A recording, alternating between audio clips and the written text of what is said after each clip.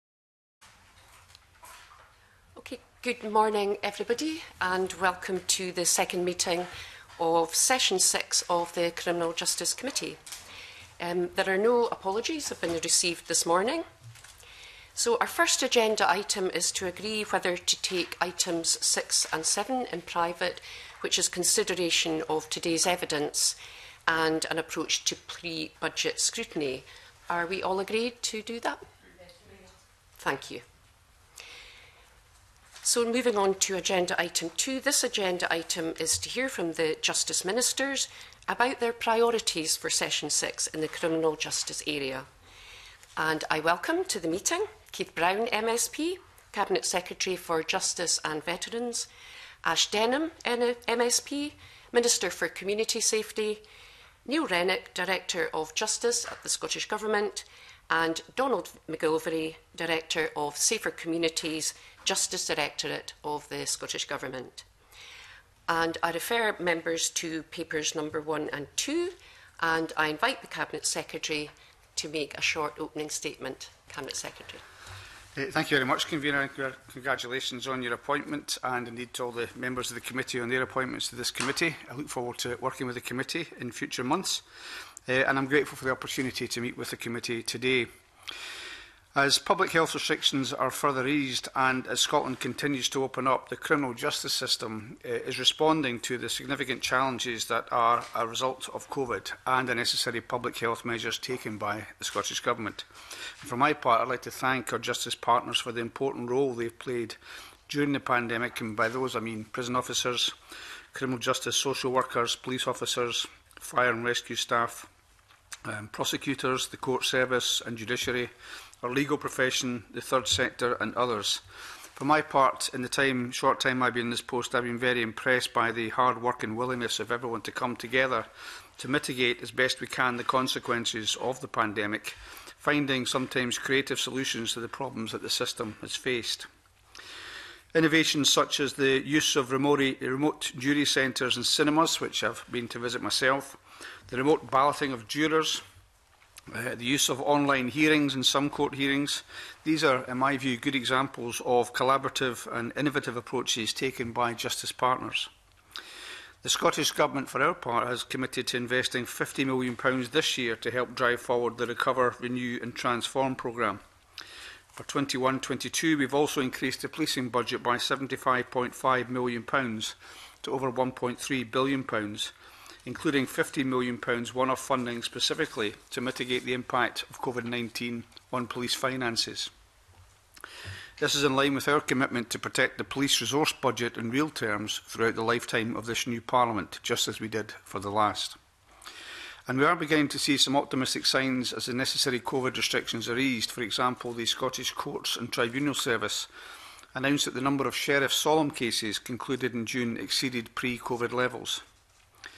Having said that, I recognise that the task ahead of us remains significant and I don't underestimate the distress caused to the victims of crime cases being resolved. In that respect, this jurisdiction is no different from most others.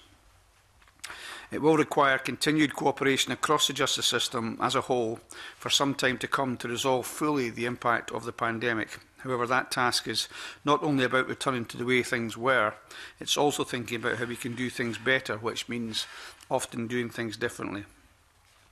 Uh, before recess in the Chamber, I outlined how we might do this. The SNP's manifesto sets out our vision of where we see Scotland's criminal justice system in 2026. And the Scottish Government has already begun work to deliver these transformational changes across the whole five years of this Parliament.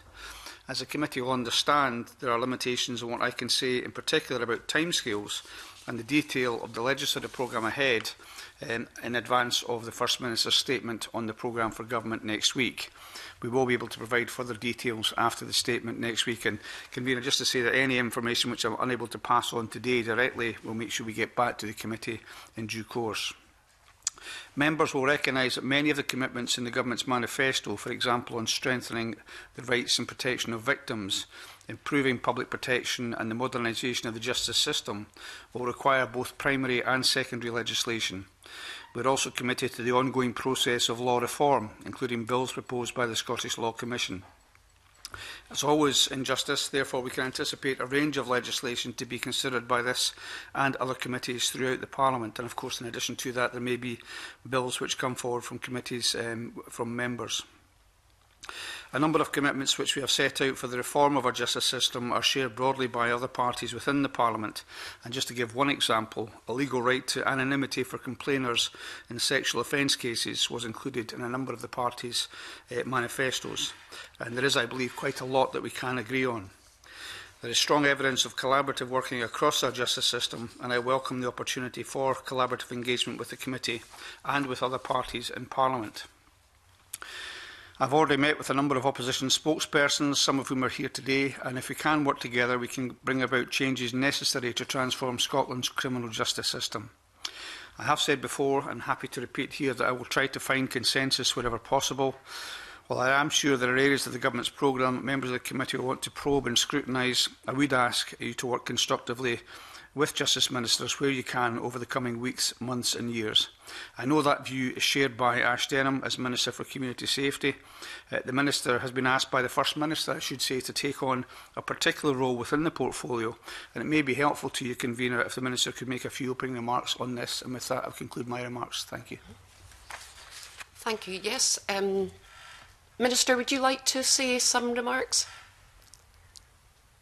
Thank you, Convener, and good morning to the committee. I'll be very brief. Um, I agree with what the Cabinet Secretary has just said there about the desire um, and that potential for collaborative working and for those aspects of the portfolio for which I'm responsible. And um, anyone that knew me during the last session will know that I always try to build consensus where possible. Um, I'd like to endorse as well what the Cabinet Secretary was saying about the important contribution of the legal profession and also the third sector. Um, so that's organisations working with uh, victims of crime play within our justice system and engagement and involvement of the legal profession and the third sector, along with other justice agencies, will be vital. Obviously, as the system um, recovers and it renews following um, the impact that we've had of the pandemic. So, returning as the Minister for Community Safety, I'm pleased to have this opportunity to take forward a number of initiatives from the previous session. So, that includes things like modernising and strengthening the contribution of our fire and rescue service, reform of legal aid and the regulation of the legal profession. And in addition, as the Cabinet Secretary just mentioned there, I've been asked by the First Minister to take on a specific role looking to improve the experience of women within our justice system. I think many of the um, elements of the justice system, so that would be things like community justice, prisons, courts, they're designed around the needs of men or the needs of the system. But we know that women and children are often disproportionately affected, and for example, as victims of sexual offending or from the impact of imprisonment. So, in taking forward this role, I want to draw on um, all the relevant evidence and expertise from a really wide range of relevant sources and individuals. And I really look forward to engaging with the committee as I work on this agenda and the rest of our programme as we progress that through this session of Parliament. Thank you, Convener. Thank you very much, Minister. Um, Cabinet Secretary, do you want to continue? No, that's no. Uh, the end of my remarks. you very much, Convener. Th thank you very much. Okay, um, I think we'll move on to questions now, and I would propose that um, we've got a kind of informal running order. We've got quite a lot to, that we would like to get through this morning. So um, I'll maybe just start uh, with uh, Mr Green. Would you like to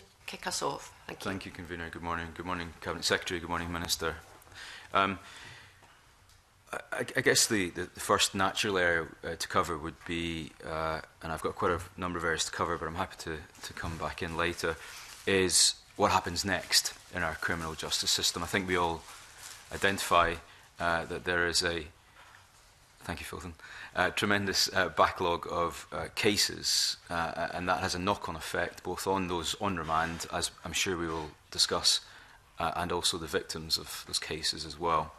Um, it's a huge backlog. It's a huge challenge. We know that all stops are being pulled on this, but it's not just about increasing the size of the estate of the judiciary, it's also about how we get through this backlog. Can I ask about which of the measures which have been temporary dealing with a health emergency are likely to become permanent measures in our justice system with specific reference to virtual trials, for example, or the submission of written evidence instead of verbal evidence, which can be cross-examined and properly interrogated, and what concerns have been raised by the legal profession that some of these temporary measures should not become permanent. It's a very good question, uh, and there's quite a lot to that. Um, so to say, first of all, uh, in relation to your question, which elements have given cause for concern amongst the legal profession, um, I suppose the one that springs most readily to mind is the faculty of advocates are concerned about the continuing use of remote juries. They've been very supportive in doing that uh, and they do see real benefits in it, but there are um, some concerns I would have to acknowledge in the Faculty of Advocates in relation to continuing that uh, too much into the future if the COVID situation didn't require it. On the issue of what things will remain, um, which we've um, innovated, uh, remote juries is something we will consider, and we'll consider the views of the um, uh, Lord Advocate, but the balloting of juries remotely has been a big benefit. Um, uh, that's uh, something which, of course, is necessary because of um, the COVID pandemic, but which may be useful in future as well. Things, even, even to the extent of remote juries being used in exceptional cases where, for example, in serious organised crime, there might be a, an issue of jury tampering. We'd want to keep that in mind for that potentially. But you're right to say we can't just expand everything to try and deal with this. I think the committee heard from the Lord President on that, who said exactly that. Um, you, you know, you can't just increase the scale of the system, there are other things which have to be done. And one example, another example would be the pre-recording of evidence, I think has been very beneficial for lots of reasons, not just because of COVID. So the ability for people to give evidence in um, much more relaxed surroundings where the person might be vulnerable for different reasons. Um, obviously, that's um, started very recently, and I think that will be a long-term innovation as well. Beyond that, it's quite clear that what we've done in relation to um, responding to the pandemic is not going to be something that we can just say this year the £50 million pounds we put in is sufficient in the end of the story. We understand that. There's more investment got to happen. And you will know the publicly um, acknowledged times for getting um, summary trials back up by 2024, given the backlog to where they were before, and solemn trials 2025. Obviously, if there's anything we can do to advance that, then we will try and do that. But I would say in all these respects, um, apart from some of the innovations that we've made, we are no different from other jurisdictions which have had to try and wrestle with the problems which um, the pandemic has made. But on that, I don't know whether, Neil, you'd want to add anything to, to the points I made. Thanks, Cabinet Secretary. Uh, just to confirm, obviously, as, as members will be aware, um, that the Scottish Government is currently consulting on uh, a wide range of uh, measures that were in the emergency legislation and specifically asking for views on which of those uh, it, there would be a benefit either in continuing for an extended period of time I think as both the, the President of the Law Society and the Lord President have said, clearly we've learnt lessons over the, the last 18 months in using those, and it's sensible that we, we draw on those lessons and consider um, which of those measures we should continue, uh, continue on and which were just specific for the period of COVID.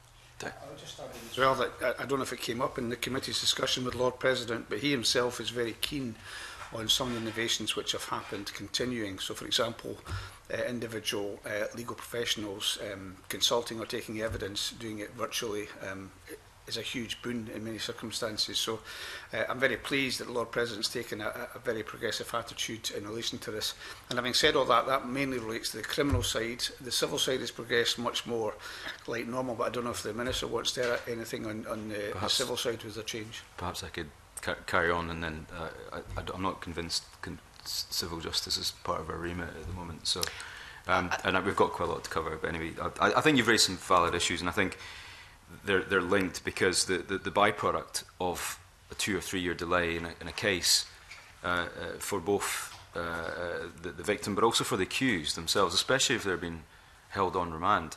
Um, in our visit to uh, HMP Edinburgh, I met with a, a young gentleman who was on remand awaiting his trial. It had been postponed twice, and he's no real prospect of this trial taking place within the next six months. Now, this is someone who's, you could say, languishing in prison, uh, as of yet found not guilty of a crime. Um, I mean, there are clearly uh, human rights aspects to this. We can't lock people up indefinitely. What happened to the to the rule of, of thumb of, of, of maximum detention? Um, And, you know, these are young lives which are possibly being ruined uh, because they'll be stuck in a prison cell for two, maybe even three years waiting on, on their, their, their, their, their, uh, their trial. It doesn't seem intrinsically the sort of society that we purport to, to have and want.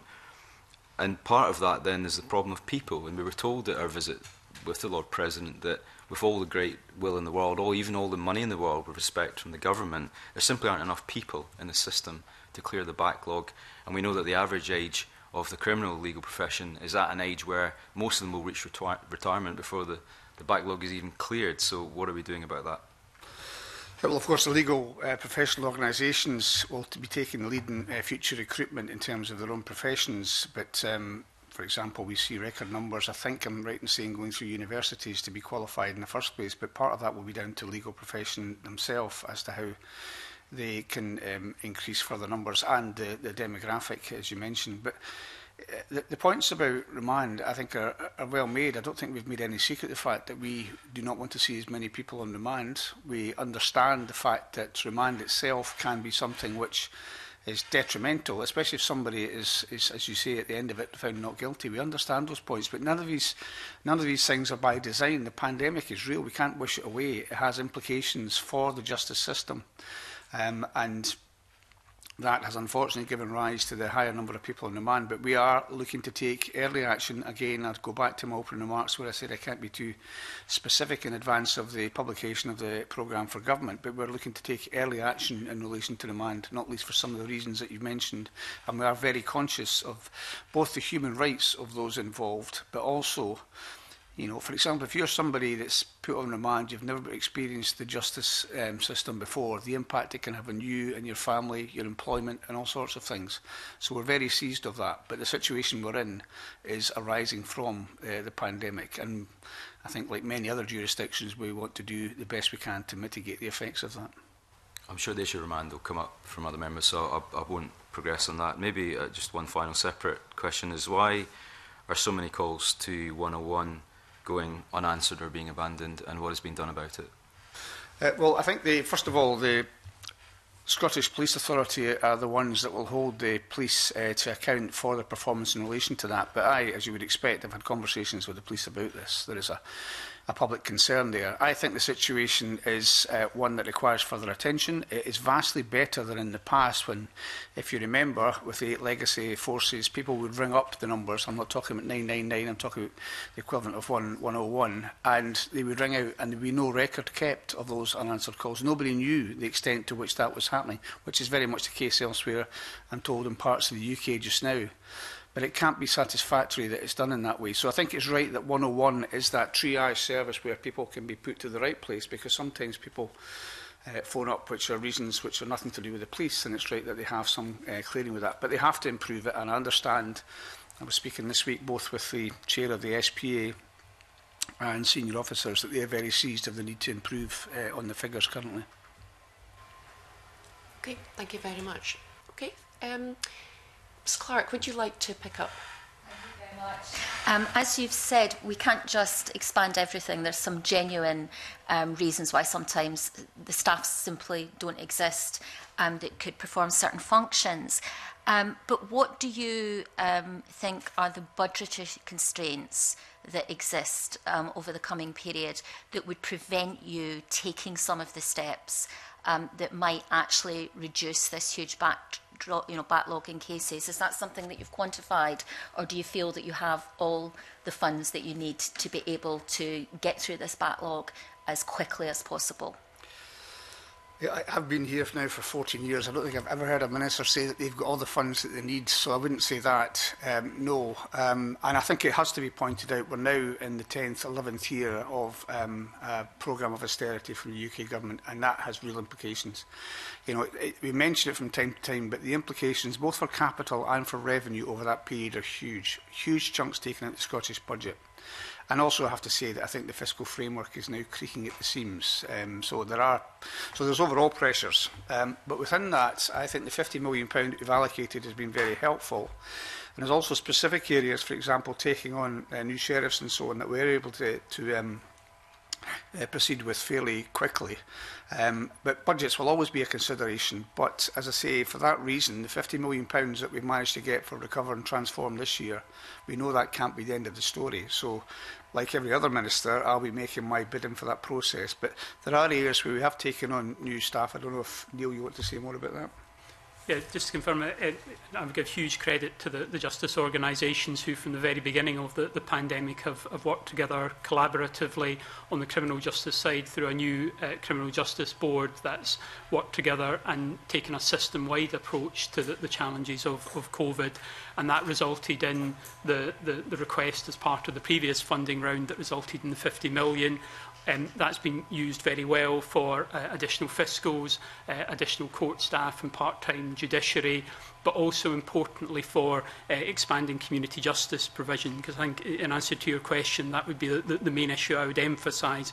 It's not purely about the, the level of resources, it's how those are allocated across the whole system that we need to take a system-wide approach. If more cases are feeding through, we need to ensure that there's uh, effective arrangements to manage those, those disposals. So, um, yeah, the, we're obviously continuing to look at the next stage in terms of the ongoing work on the, the, the, the Recover, Renew and Transform programme. And as the Cabinet Secretary says, that will be reflected in the, the, the next funding, funding round. But I have to say that the resources so far have been very well used and the indications from the justice organisations are that at the moment that's the capacity the system has to, to deal with these cases. I think we'll be coming on to community justice later. Um, um when the COVID um, restrictions restrictions were brought in, politicians across the UK and across the political spectrum said they were the most draconian that had ever been known. So how are you going to guard against some in the system trying to keep some of the practices that have been brought in during COVID when actually there were very good reasons for the way that we did things before COVID? It's a very good point, and it's almost like the obverse of the point raised by Jamie Green, which is what have you done in quote during COVID, which is something you could continue to use, but what are the things that you've had to do that you shouldn't continue to use? And I would say, first of all, it's a very good um, thing for ministers to keep in the back of their minds. It might be tempting to um, say this makes things a bit easier in this regard, let's keep doing that. And I think we have to guard against that. But I think we also have a situation where this Parliament and its committees are a pretty good watchdog for doing that. We've seen the discussion that we had uh, over the extension and the elimination of many of the measures uh, recently. And of course, there's a provision for further and regular reporting on those things. So there are democratic checks and balances. But if your point is to say that the government also should be looking to itself and doing a self-check. Uh, with that one caveat, as Jamie Green says, we do want to see if there's something that has been forced by circumstances to change that might be of benefit in future. And if we do that, we should get parliamentary approval to do that. And of course, there's sometimes cash pressures that might want people to keep the, the, the new ways of working. Um, in terms of vaccines, both the Prison Officers Association and the Police Federation have expressed concerns that their members haven't give, been given priorities, key workers, um, for the vaccine. Now, this may be an issue going forward in terms of both the booster but also seasonal flu. And is that something that you have made a decision about? And will you give those workers um, priority status? Because that obviously could assist massively in the sector. Uh, well, but not the priority status in a sense that is different from what the JCVI recommends. That's what we have followed. So what you'll have seen is the same demographic step changes happening in prisons, both for prisoners, for those that are willing to take the vaccine, and for prison officers. And yes, those views have been expressed, have been expressed also by police officers, but we have followed the JCVI advice. One thing we have done more recently, though, is to agree that we should bundle together, so both prisoners and prison officers in a particular setting, and the health boards are now aligning behind that to make sure we can drive up those figures. And I think, although I've said it already in opening remarks, I would want to say that the both in terms of inmates and the um, compliance with what the prisons have had to do to respond to this, but also in terms of prison officers. We've had a fantastic response, which is evidenced, I think, by the Um, we have had outbreaks in prisons, I'm not denying that, but by the, uh, the nature of prisons, they're much more vulnerable in that sense, and the way that's been dealt with by the prison authorities, I think, has been tremendous. So we will continue to follow the JCVI advice. I mean, this may be an issue I come back to because obviously the, the population we're talking about is a young population, so we'll tend to get these vaccines later. Um, in terms of um, sexual offences, the, the number of recent um, reported rapes has increased by more than a third to um, 631 between April and June compared with the period last year. And also a total of 3,720 sexual crimes, both recent and, non recent, were recorded in the first quarter, um, a nearly 25% increase. Um, I know um, that you've indicated that there'll be a planned spend of 100 million over three years on prevention of violence against um, women and girls, but what further are you doing um, to address what is a crisis um, and also what will the timetable be in terms of the Lord um, Justice Clark's recommendations on how we deal um, with offences such as rape? Uh, we can say, first of all, in response to your last point, I have to revert back to what I said earlier, that the programme for government will be shortly issued, and that will give us uh, some timescales around those things. But you'd expect there to be a degree of urgency about the way the government deals with Lady Dorian's um, suggestions. So there's a kind of multifaceted response to this. Um, first of all, to say that uh, we have the, uh, from the Hate Crime Bill, which is discussed before, we have the continuing remit of the Working Group on Misogyny, which will report uh, in the next within this uh, coming uh, year.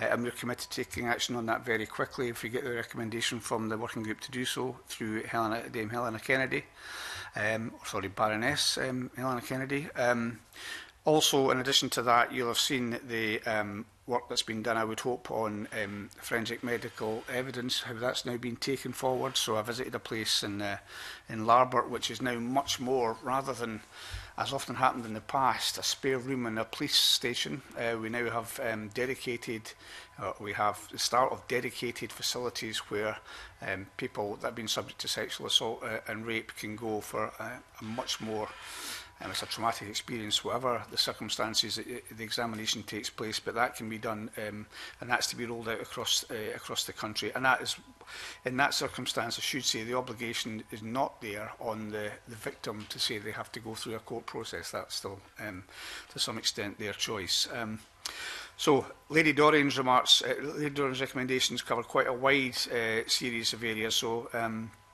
If you also look at the issues, which I'm sure we'll come on to in terms of corroboration, which we've agreed to look at, uh, also in, in relation to the three verdicts that we currently have, we've agreed to look at that as well.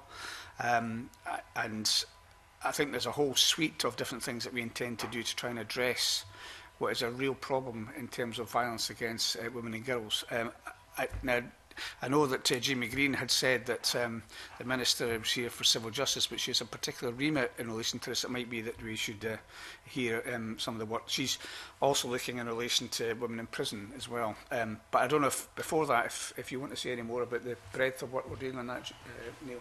Yeah, just to confirm what you said, I, I think the work of uh, the, the Law Justice Clark's uh, group is uh, is incredibly impressive, and that involved not just victims' organisations, but also judiciary, legal professionals, prosecutors. So it drew on the expertise from people across the, the system, uh, and I think it sets uh, out some tremendously exciting proposals for looking again at how the system operates on the statistics you quoted, um, obviously, as you'll know, those are part of a much longer term trend in terms of uh, more sexual offences cases being reported to the, the, the police that have um, doubled in the, the, the, last, uh, the, the last decade. But we know it's still the case that there are uh, significant numbers of sexual offences cases that aren't reported. So, as the Cabinet Secretary says, we need to do more to strengthen confidence in the justice system and the experience that uh, complainants will have. Okay. Thank you. I, I just wondered before we move on if perhaps Ms um, Denham might like to come in and um, say a few words on, on this topic. Yes, I mean, I think that everyone would agree those uh, the rate statistics that um, the members quoted there are, are very concerning. Um, and obviously, we have taken quite a bit of action around um, tackling sexual offending, including things like improving our laws, um, encouraging more victims to come forward, and obviously both the cabinet section, you already have set out some, some things that we're doing there. We do have that planned spend of 100 million over three years um, for prevention of violence against women and girls, which I think is key. Um, but I do think that obviously this is a key government responsibility to tackle this, and I think we are committed to taking this seriously and looking at what we can do.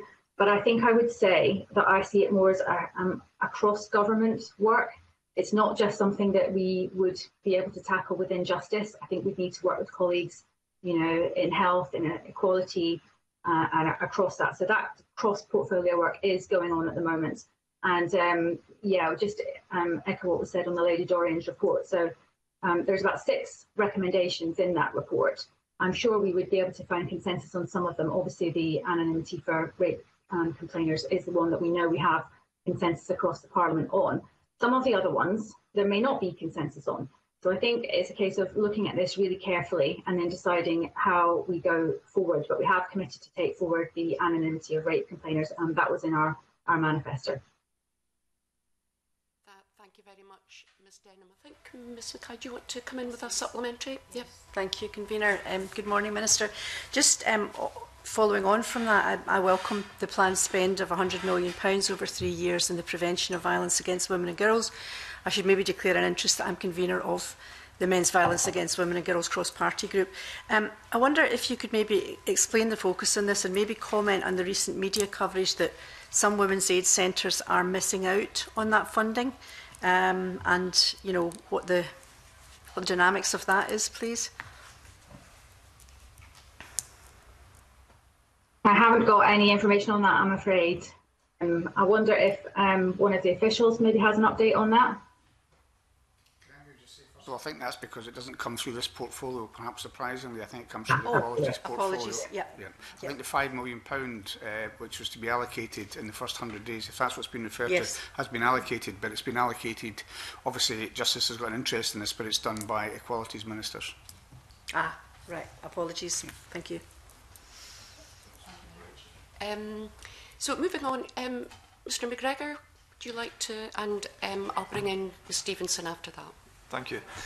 Um, good morning, uh, Cabinet Secretary and Minister. I, I wanted to pick up the first line point that, um, that, that Jamie Green made about remand, and, and I have to say I was pretty impressed with your candid response, uh, Cabinet Secretary, uh, and I do look forward to seeing what's said in the programme for government because I think that it strikes me that we can't, we can't have people in remand uh, for longer than than they need to be, um, particularly for people who who um, are, are finally deemed to be innocent, and that will be a very traumatic um, experience when when we do we, we do have that and may raise further questions for us. So I, I do wonder though, and I know you can't comment on the programme for government, but I do wonder if um, some of the stuff that's in the programme for government may be about dealing with remand in other ways just now. So if, if the individual, for example, is on remand um, because they're um, they're deemed uh, a danger, perhaps, uh, and, and the remand was was necessary in that respect. Will there be consideration given to other ways to deal with that, using perhaps um, criminal justice uh, resources in the community? Um, and again, I do understand I'm asking you that question, and perhaps you can't answer fully uh, just now. It, well, thanks for the question, and probably not fully, but I think you're absolutely right to say where it comes down to the protection of the public. Um, then that's got to be the bottom line that you're protecting the public, so you're keeping somebody on remand for that reason. It's a risk um, calculation, obviously. And of course, remand and the decisions who to remand are down to the courts, and not down to the government to decide. But you're right to say um, it seems to be perfectly legitimate to look at the risks of, say, if somebody's held on remand because of a fear of uh, non-appearance um, or other aspects, I think there is, is, is right that we could look at a balance of risks. Um, so some of the stuff may end up um, in terms of uh, legislation. Some of it may just be changes to the system that can be made, and we're very open-minded about that. But I think the bottom line is we have to see a reduction for the reasons that Jamie Green mentioned, the harms which are done um, to demand. And it is perfectly possible, and I'm quite um, uh, frank about that, that somebody can serve uh, longer in remand than the sentence that they might have attracted had they been guilty even if they're not guilty. So um, now there are different um, pressures on the system, and we do have to protect the public, and that's the bottom line to this. But yes, we should look at these areas.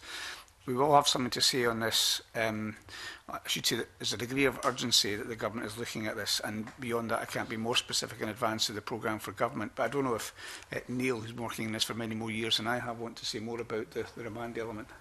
Thanks, Cabinet Secretary. Yeah, just to confirm that um, when uh, the judiciary and other uh, witnesses spoke to the, the predecessor to this committee for its inquiry into the, the use of remand, one of the issues they emphasised was the, the, the legislation in this area as being a, a driver of, of decisions and obviously the ultimate decisions on whether to, to remand someone is taken by, by the judiciary. Uh, Um, so, uh, as the Cabinet Secretary says, one, one area that, uh, that we would need to look at uh, would be uh, the legislation around bail and, uh, and remand.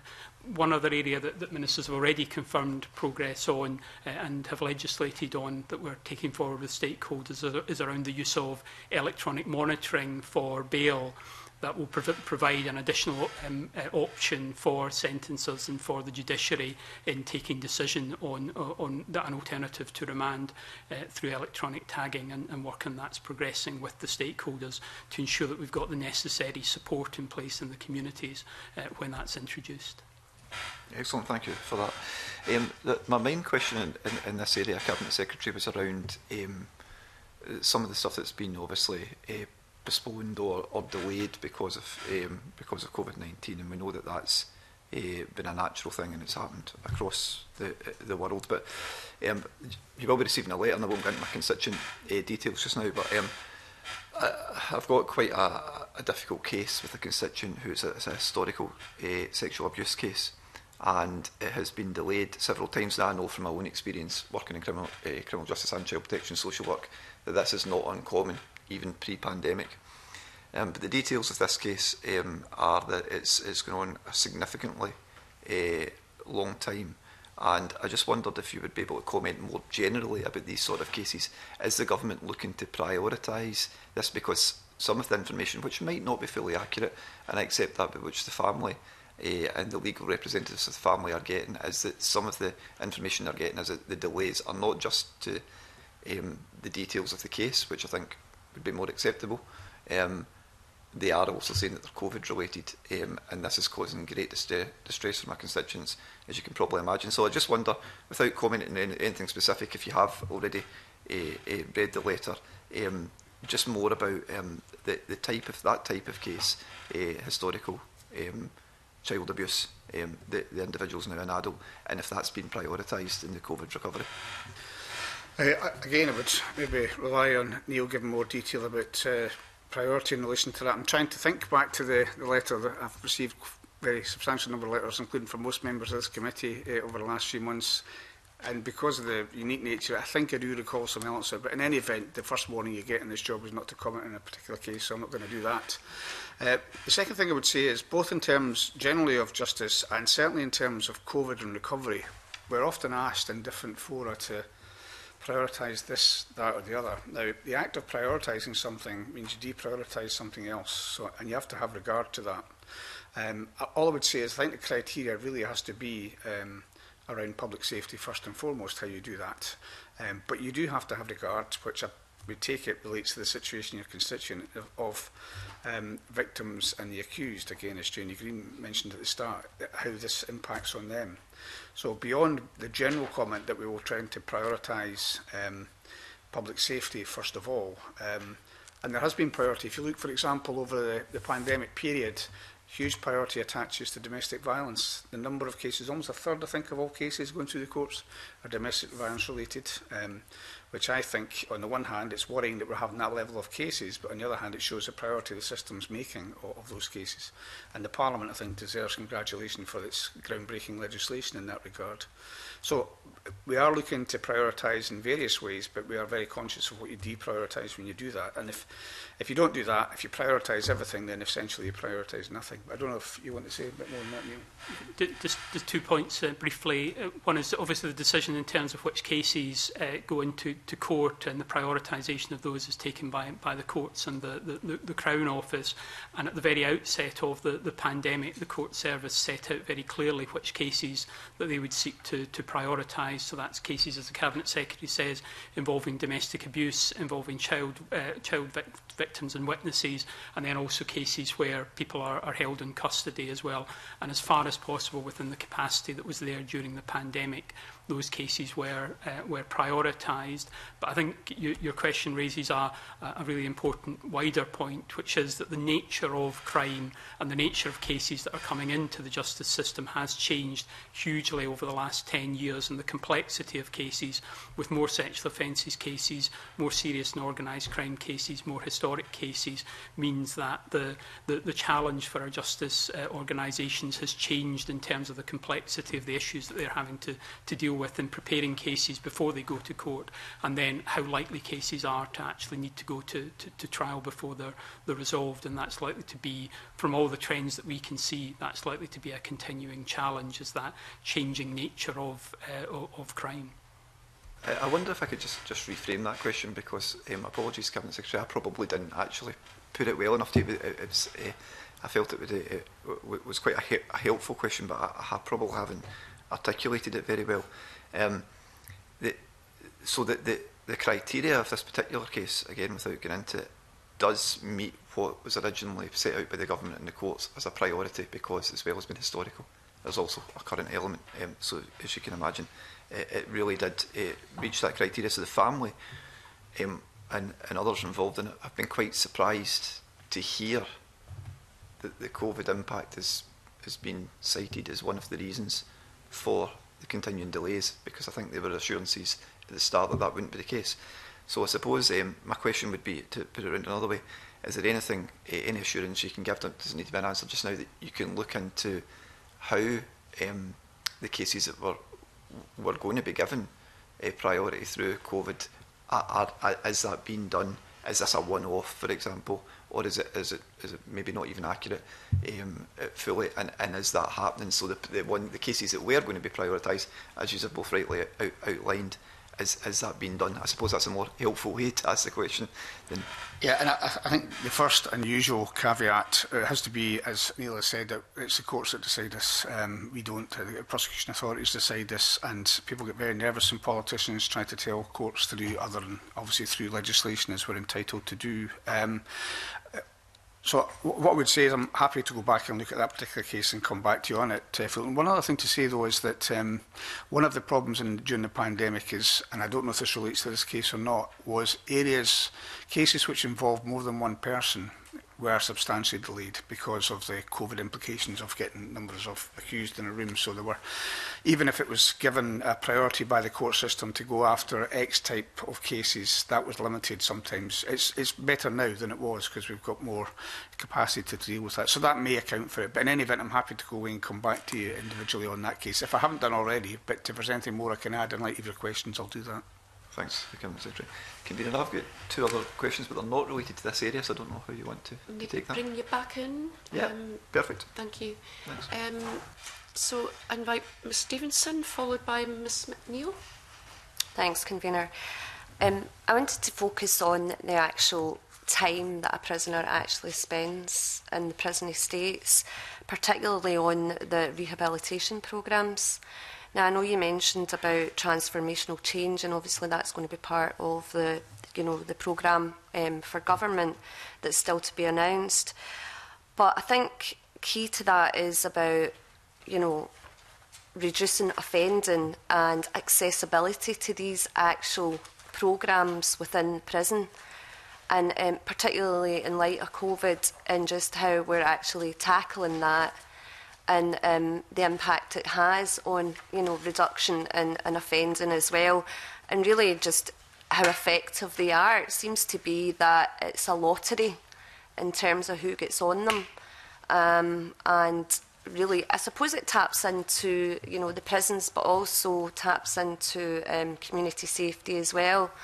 Um, but really for me, it's about accessibility to it um, and the effectiveness of them as well.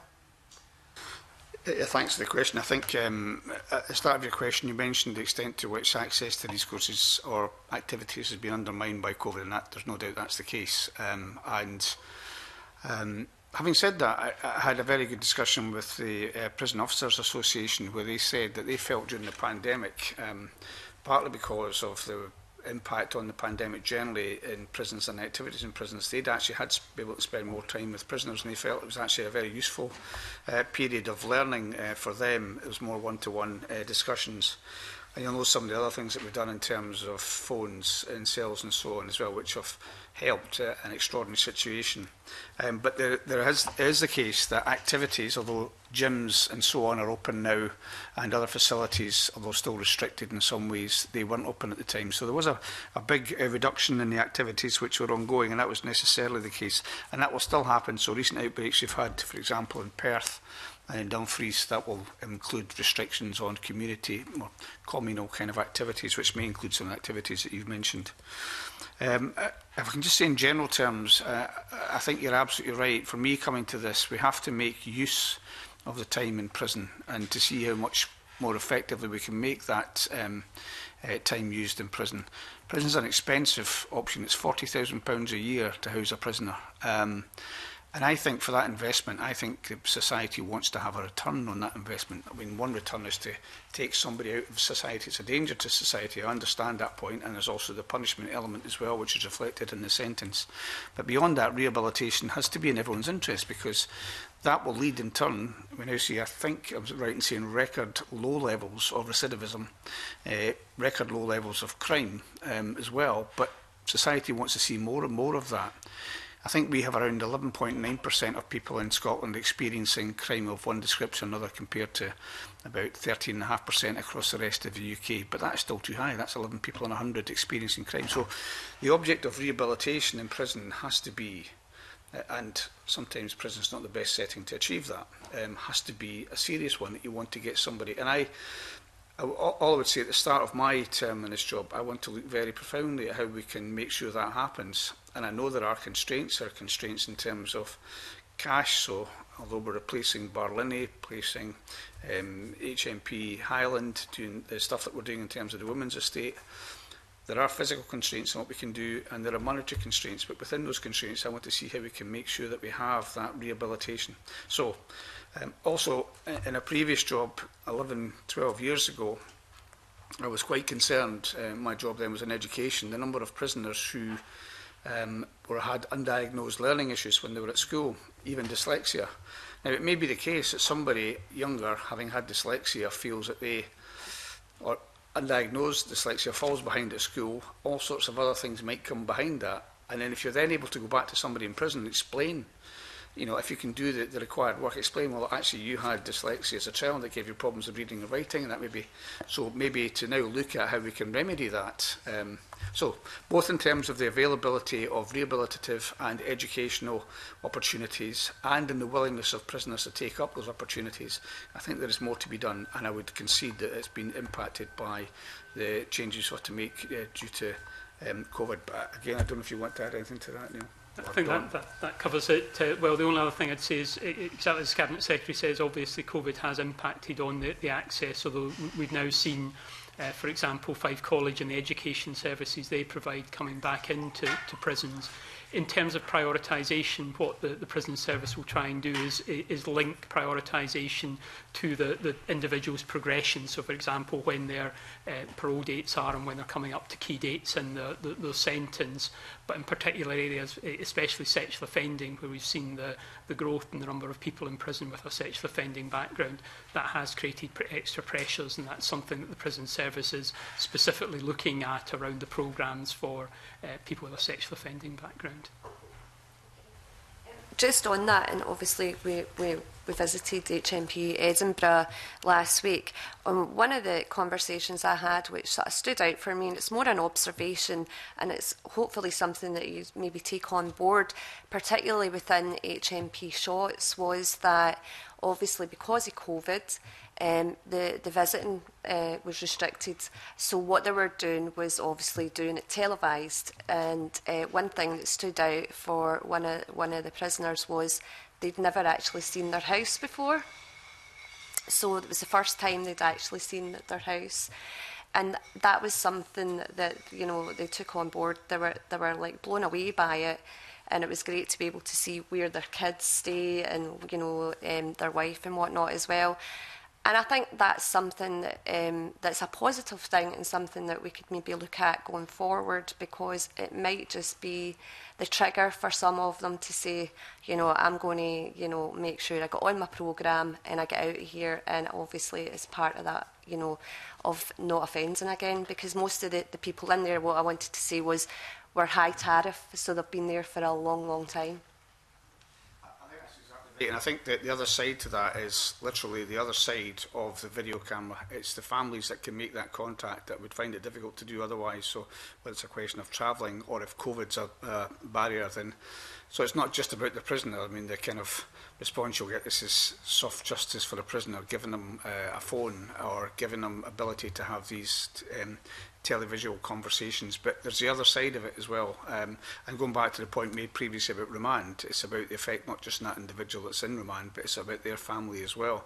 So I think that that, that is right. And that's partly led as a response, you're quite right, to COVID. But I think these are things that we should look at uh, as to the prison officers um, will tell you there are benefits to that. There are also dangers, in both in terms of phones and other IT equipment, in terms of trying to maintain the proper regime in prisons. Um, Uh, so being aware of the dangers is very important, but I think we should look at that as to how we can do it. And also, why shouldn't that also be, and I'm kind of thinking on the hoof here, but why shouldn't we look at uh, educational um, incentives being delivered in that way as well? It can be done more safely than normally would otherwise be the case, and you can get probably, I would imagine, more um, specialist um, educational opportunities for prisoners if they could do these things remotely. So I think these are some of the innovations we should look at longer term. Okay, well, thank you. Okay, thank you very much. I think, Mr um, Finlay, would you like to come in on that? Uh, not necessarily on, on that, oh, okay. just generally. Well, we'll just leave it but just now if that's... Pauline before me? Or? Yeah.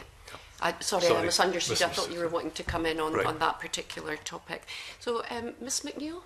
Thank you, Convener. Uh, good morning, Cabinet Secretary. Good morning, Minister. I'd like to particularly welcome um, the comments this morning from the Minister about the work that's been done in women and girls. Um, I've got three questions. Uh, First, this is a continuation of Jamie Green's line of question and what you had Cabinet Secretary had to say about the scandal of remand in Scotland, which the Howard Lead described it as. Um, according to them, it's men and women who are being, it's not just men in prisons, it's women as well, um, and the majority are not being convicted. So it is, to me, quite right if it's going to be a priority. I think it was helpful um, Neil, that you give us an indication of what the issue is, because that's what I was going to ask. Why is it the case sheriffs are remanding so many and many um, are not being convicted? So um, it's useful to know it's the legislation that seems to be, um, and I've read the Howard League's briefing on it, so well, I'm clear that, that our sheriff is required to see if there's substantial risk, and if so, they can they must refuse bail. So I, I take it that's the area that the government would be looking at to for reform. I wouldn't want to say that's the sole area or the sole solution, right. but it is it is certainly part of the it is certainly part of the situation that, that, that ministers are, are, are looking at. But yeah, there, there are other things that clearly can do. So, for example, over the last few years, uh, we put extra money into expanding access to supervised bail, and that's seen an upswing in supervised bail even without uh, legislative changes. So there are clearly other things that, that, that we can do and are doing. Yeah. There's some other things that we are doing. So we put in you know, the committee had an investigation into this in 2018, and since that time we put another 170 million pounds into Community Justice Services each year, plus a further 550,000 to incentivise bail supervision services. Bail obviously being the flip side of remand, um, and to that extent, um, a, eh, and 1.5 for bail support for women each year in particular. So, but uh, just to reiterate that point, it's an important point. It's not just about legislation. I think, um, I think, and you'll know this better than me. I would imagine there's a kind of cultural kind of adaptation to the legislation as well, which is something we have to look at. I do very much welcome that. I wanted to go on to ask you about the condition of remand prisoners and probably, when you think about it, for all prisoners. So I wondered if you agreed that to spend 23 hours in your cell is completely unacceptable. Now, I know you're going to say, well, there's lots of reasons for that, but I hope you'd agree it's unacceptable that prisoners, and particularly remand prisoners, are not getting access to fresh air, I've had many cases, as others had, about not getting the proper NHS support because you're detained and uh, it's not that easy to complain um, and mental health support. So I also, I suppose my question is, do you think there's a radical reform needed to ensure that we're heading in the right direction to ensure that there are basic human rights of conditions when it comes to remand prisoners and prisoners generally? And I always wondered why, so obviously I represent Glasgow, why don't we just go for a remand prison, you know, one of the new prisons?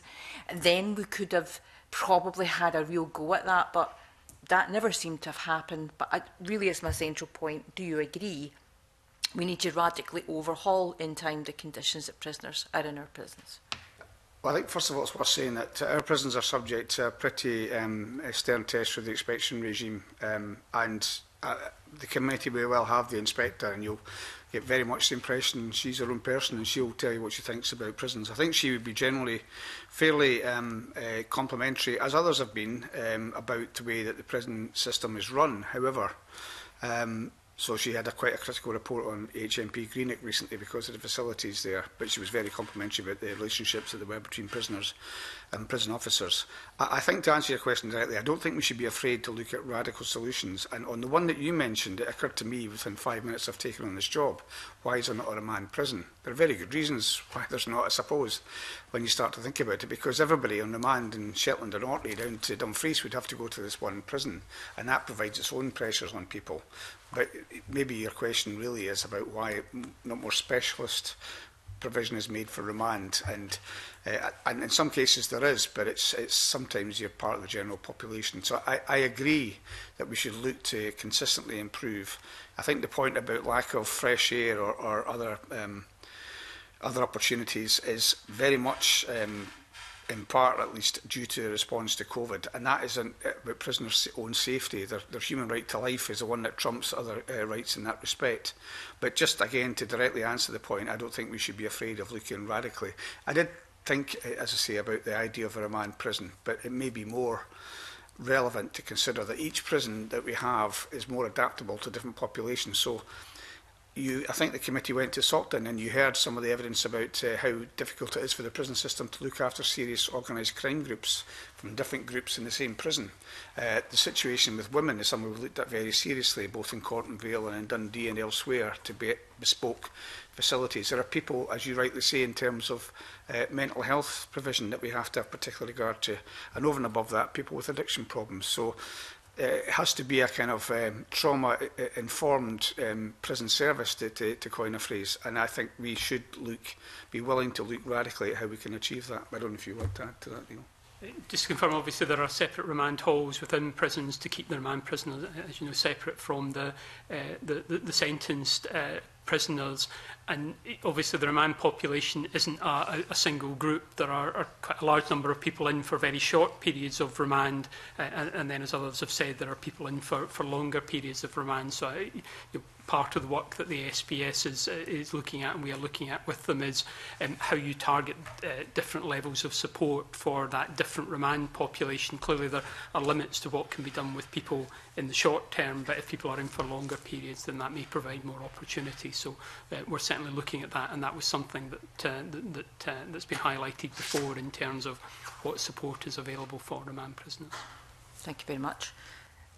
But my last question, I know there's going to be other interest in this, and I am aware before I say it um, that there will be some restrictions on what you can say to the committee, but it's the malicious prosecution of Rangers Football Club. Now, um, I hope you would agree. Uh, I wouldn't say why you wouldn't. Um, it's a serious concern to Scotland's criminal justice system that the Lord Advocate's had to apologise for something so fundamental, and it's obviously the subject of legal action. So I, I do appreciate that you'll be restricted in what you can say, but I do want to ask you if there's been any investigation of how this decision came about, who made the decision, and at what level. Um, for example, would it be the Home Advocate team within Crown Office that made the decision? I mean, everybody knows the Lord Advocate signs everything, but he doesn't make every decision. So someone else obviously made the decision.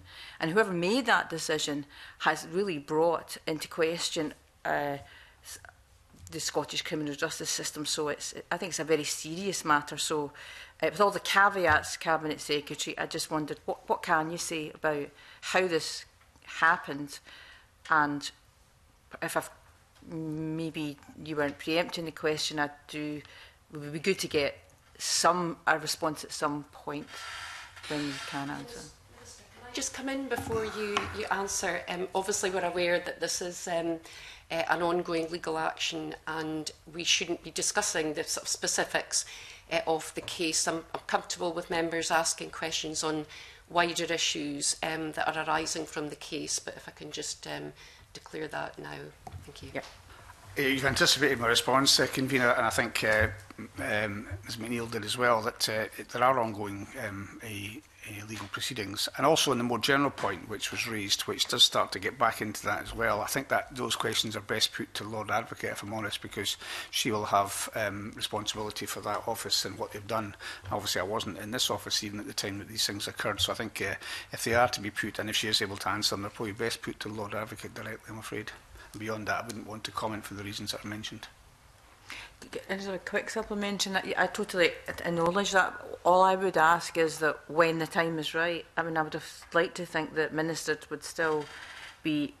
I'm sure you are very concerned about it, and it's not simply a matter for the Lord Advocate. If our criminal justice system is coming into question because we've got a prosecution service had to put their hand up, then I would like to think the ministers think there's some role for them in ensuring that can never happen again. Well, I think the only thing I say beyond that is that the commitment's been given to a full inquiry, uh, as you'll know, so um, that will obviously look at the actions of all those involved, and beyond that, I don't want to go any further.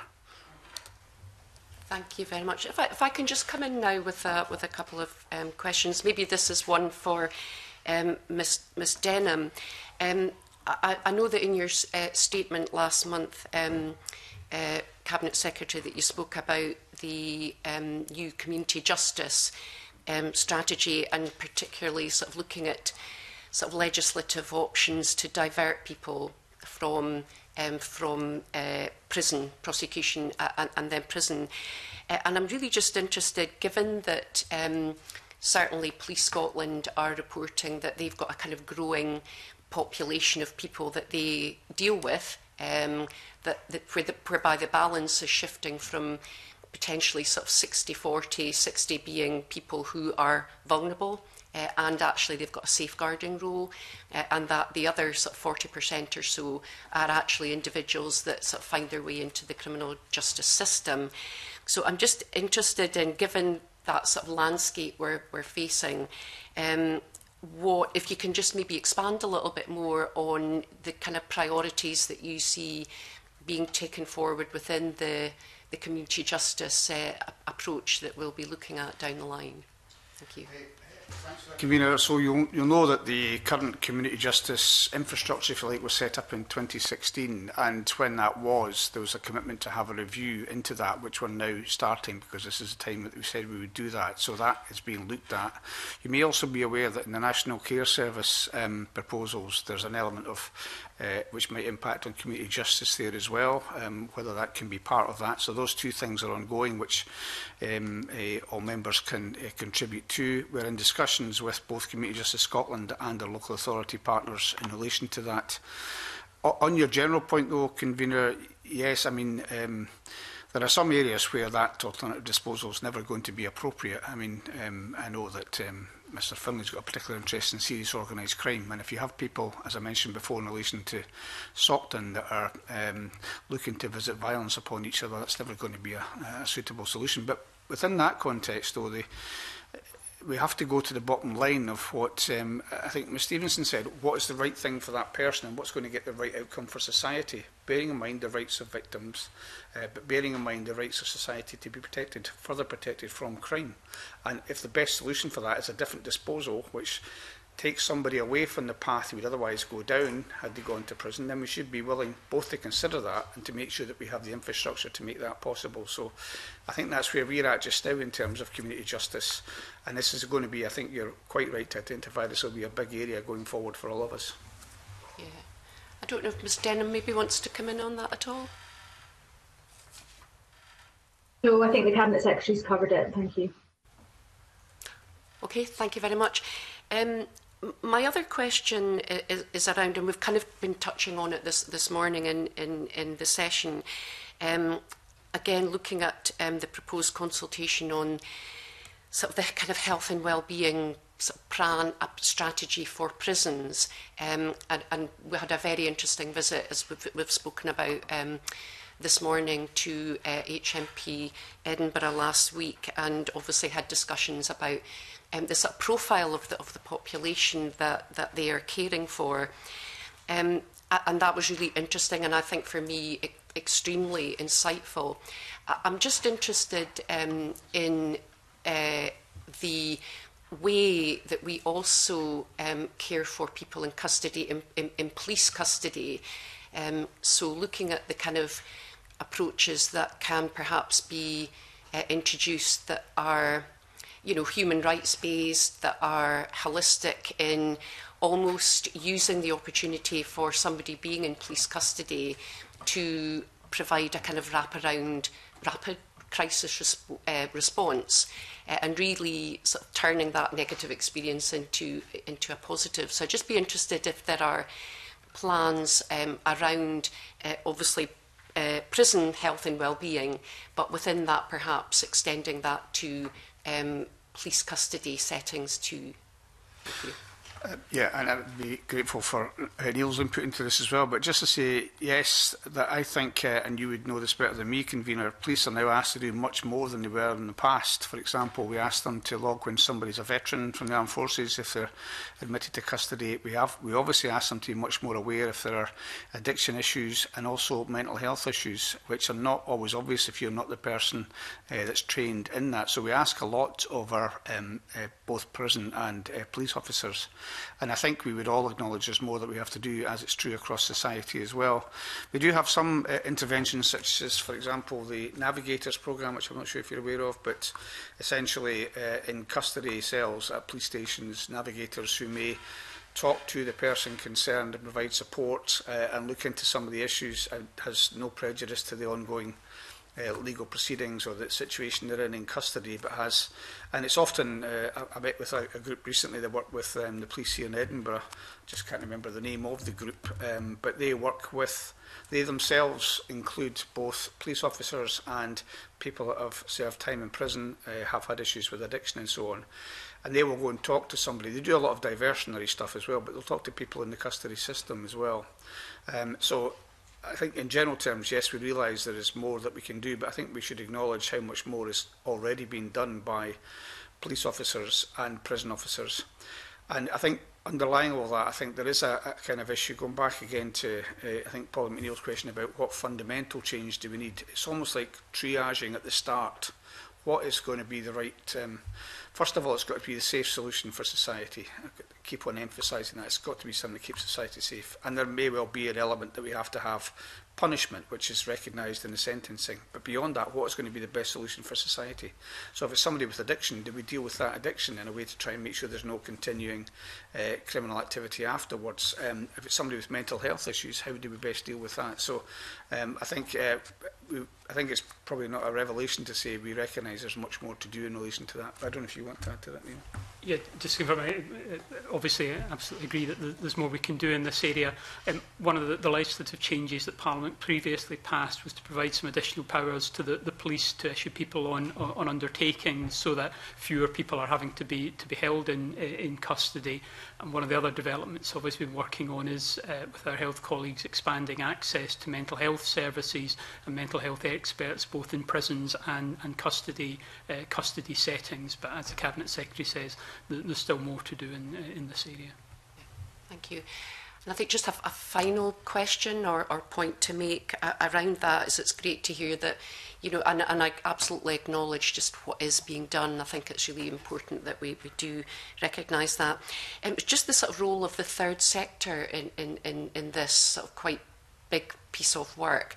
Um, and I suppose just making sure that we are supporting the third sector. You know, we, we, we all know that just the amazing uh, contribution and the vital contribution that they they make. So I suppose my my question is. Um, uh, whether or not we will be sure that um, consideration of sufficient funding and support for the third sector uh, will be made available, um, as in particular as we come out of COVID. Uh, yes, I, I think we will do that, uh, convener. I think, though, we'll have to go back to the, the general constraints that we have. We have to recognise there are huge constraints on um, the Scottish Government's budget, I think, as Ms Clark raised earlier on, um, and the austerity kind of budgets that we're having to live under just now. And that sometimes means you have to be quite innovative about how you get additional funding. So the cash back for communities was one of the ways in which that programme I mentioned before in Lothians is, is funded. And so we have to continue to look at that as well. Um, and there are other streams of funding we can look at too. But there is no question that we don't have the human resources to deal with everything um, within the public sector. And the third sector is an extremely important ally in relation to that as well. thank you. Thank you. Um, now invite Mr Finlay to come in, uh, followed by Ms McCann. Hello to you all. Hi. Um, I'm not entirely sure if I should declare an interest, but I will do so to err on the side of caution in that my um, married to a serving police officer. Um, so many questions and not really enough time, so I'll try and focus what I'm going to ask. Uh, the first issue is around the effects of COVID on entire court system and justice system, we know that there's some very creative work being done to ease the backlog. We saw that firsthand last week. But what's perhaps been slightly overlooked is the decision to write off large numbers of hours of community service that have been imposed by the courts. Uh, just last week, the number of 262,000 hours was uh, discovered to have been effectively written off Um, now, to put that in context, if my calculations are correct, if you take 129 MSPs working full-time for a year, it's more hours than that. So it's, it, uh, uh, and the point, I suppose, as well, is these are very often serious violent offenders and uh, very often um, these sentences are being used increasingly due to the presumption against shorter sentences of 12 months or less. So the first question is, is there not a risk that by politicians taking these decisions, big decisions around sentencing, that that risks undermining the independence of the judicial process and sentencing. Uh, can I say just a, a couple of points? First of all, that the figures, I, I, I'm not sure of the word that you used, it was uh, uh, revealed or discovered. These figures were actually in the legislation when it was passed. They were they were agreed in Parliament at the time. I know that you weren't in Parliament at the time, but they were agreed. So the idea that it's a revelation or was unanticipated is not the case. Um, and I think it is the case. You're right to say there are risks attached to these things. But the, the other risk is that if we had, because of the backlog, uh, not enough provision left for disposals now going forward, then that itself is a risk for more serious cases. Now, my understanding it didn't apply to um, cases where it was uh, violence or sexual offences, uh, and we're very careful about that It wasn't me that was doing the job at the time, but they were very careful not to have done that. So in all of these things, I suppose the bottom line is COVID has meant that we're having to balance all sorts of different risks. And I think in this case, they got the balance right. But I know that uh, Neil was involved. Was it Neil or was it Don at the time? Yeah, it was, uh, it was on our, uh, our side, yeah. to, just confirm that, that uh, domestic, vi domestic violence, um, sexual offending and stalking were all excluded. And as the Cabinet Secretary says within the explanatory notes with the legislation, because it was done on a proportionate basis, proportionate of 35% of um, each of the orders, then uh, we were able to estimate what the impact of that would, would be, and, uh, and that was reflected in the, what Parliament approved in, uh, in February. Um, so uh, that was understood at the time when Parliament agreed. It. Sure. So there was violence, but not domestic violence, that was excluded? It was domestic violence, it was excluded. Right, okay. Um, the second question then is, in terms of the victims who saw their perpetrator, attacker, whatever it may be, be sentenced to community service and felt presumably some sense of relief and justice. Was there any notification given to any of them about this decision in, in respect of their cases? I'll, I'll let Lynn answer that question, but it's worth pointing out, first of all, that the to, to have carried on some of those disposals would itself have been a COVID threat. So just to reiterate the point that the decisions which, and it wasn't me, not solely me, I would imagine I've voted for it as well, I think perhaps we all did, um, did so in the knowledge we were trying to balance different risks which were there. I don't know if in the specific question you went to, I would imagine not in that case. Yeah, there, there wasn't a, a specific, and the, you know, there isn't a specific victim notification scheme for uh, for community payback orders, but we were very open about um, the, both the reasons for and the fact of the, the adjustments. It, uh, it was very ministers very specifically chose the, the level at which the adjustment was was made at 35% so that uh, those sentences will have served the majority of their uh, sentence uh, before the the, uh, the the adjustment was applied. But individual victims don't know. So going forward, given these are extraordinary powers under the COVID legislation, is it not very important that we no longer have these powers in the hands of politicians, that these should be given back to the courts and that when people see sentences taking place, they can have confidence that that is what it actually means. I think what's really important is it's a decision for Parliament to take, which it has taken, if not once, twice, and is continually notified uh, by the government on. That is a democratic check that we have, which I think tends to be on the basis of a consensus amongst the parties in the Parliament, at least up till now. Okay. Um, in, respo in, in response to Pauline McNeill, you talked about organised crime and the problems that pr presents to Scottish Prison Service. And we heard some first-hand accounts of that at Stockton. Um, it was explained to me that such is the extent of the organised crime population in prisons, numbering around 600 people, that two things. One, the risk of extreme violence Often gratuitous violence is significantly higher than it used to be, giving the prison service extreme difficulty in trying to manage that. And what one senior officer uh, said to me was that two particular prisons have effectively become home to groups of prisoners associated with two sides of a fairly prominent uh, dispute that's been long running. Um, now, one of these prisons is subject to significant media interest in the past week or two in relation to the power that the prisoners appear to have, uh, the relationships they have with uh, prison staff, the issues of contraband behind prison, and a sense from a whistleblower talking to the media that this particular prison, Addywell, uh, has got some serious problems due to the, the control of organised crime within the prison. Is, is that a, a picture you recognise in relation to that prison? And secondly, what, if anything, have you done about in, in response to these media reports? Eh, first of all, the responsibility, apart from responsibility for ministers, uh, lies with the Scottish Prison Service and uh, Theresa Medhurst as the Chief Executive, who's been very open, certainly with me, about the, uh, I would quite agree, the challenges of dealing with uh, serious organised crime individuals. And uh, there may well be gratuitous violence, but often it's violence with a purpose, which is seeking to intimidate uh, uh, or do other things. Uh, that is a real challenge, and one reason why, incidentally, I would say that the idea that the UK government has to make prison officers serve till they're 68 is an absolute nonsense, which should be opposed by everybody, I would think. Um, but it is a real challenge, and of course, any of these reports we do look seriously at. Um, HMP Adwell is, of course, a private prison which will uh, revert to the public sector. Um, but yes, of course, we look at these issues, uh, but we will do so in consultation with the people um, most directly affected um, the, the prison service. Uh, of course, Theresa Medhurst and the prison service remit doesn't extend to Adderwell whilst it's a private prison in that sense.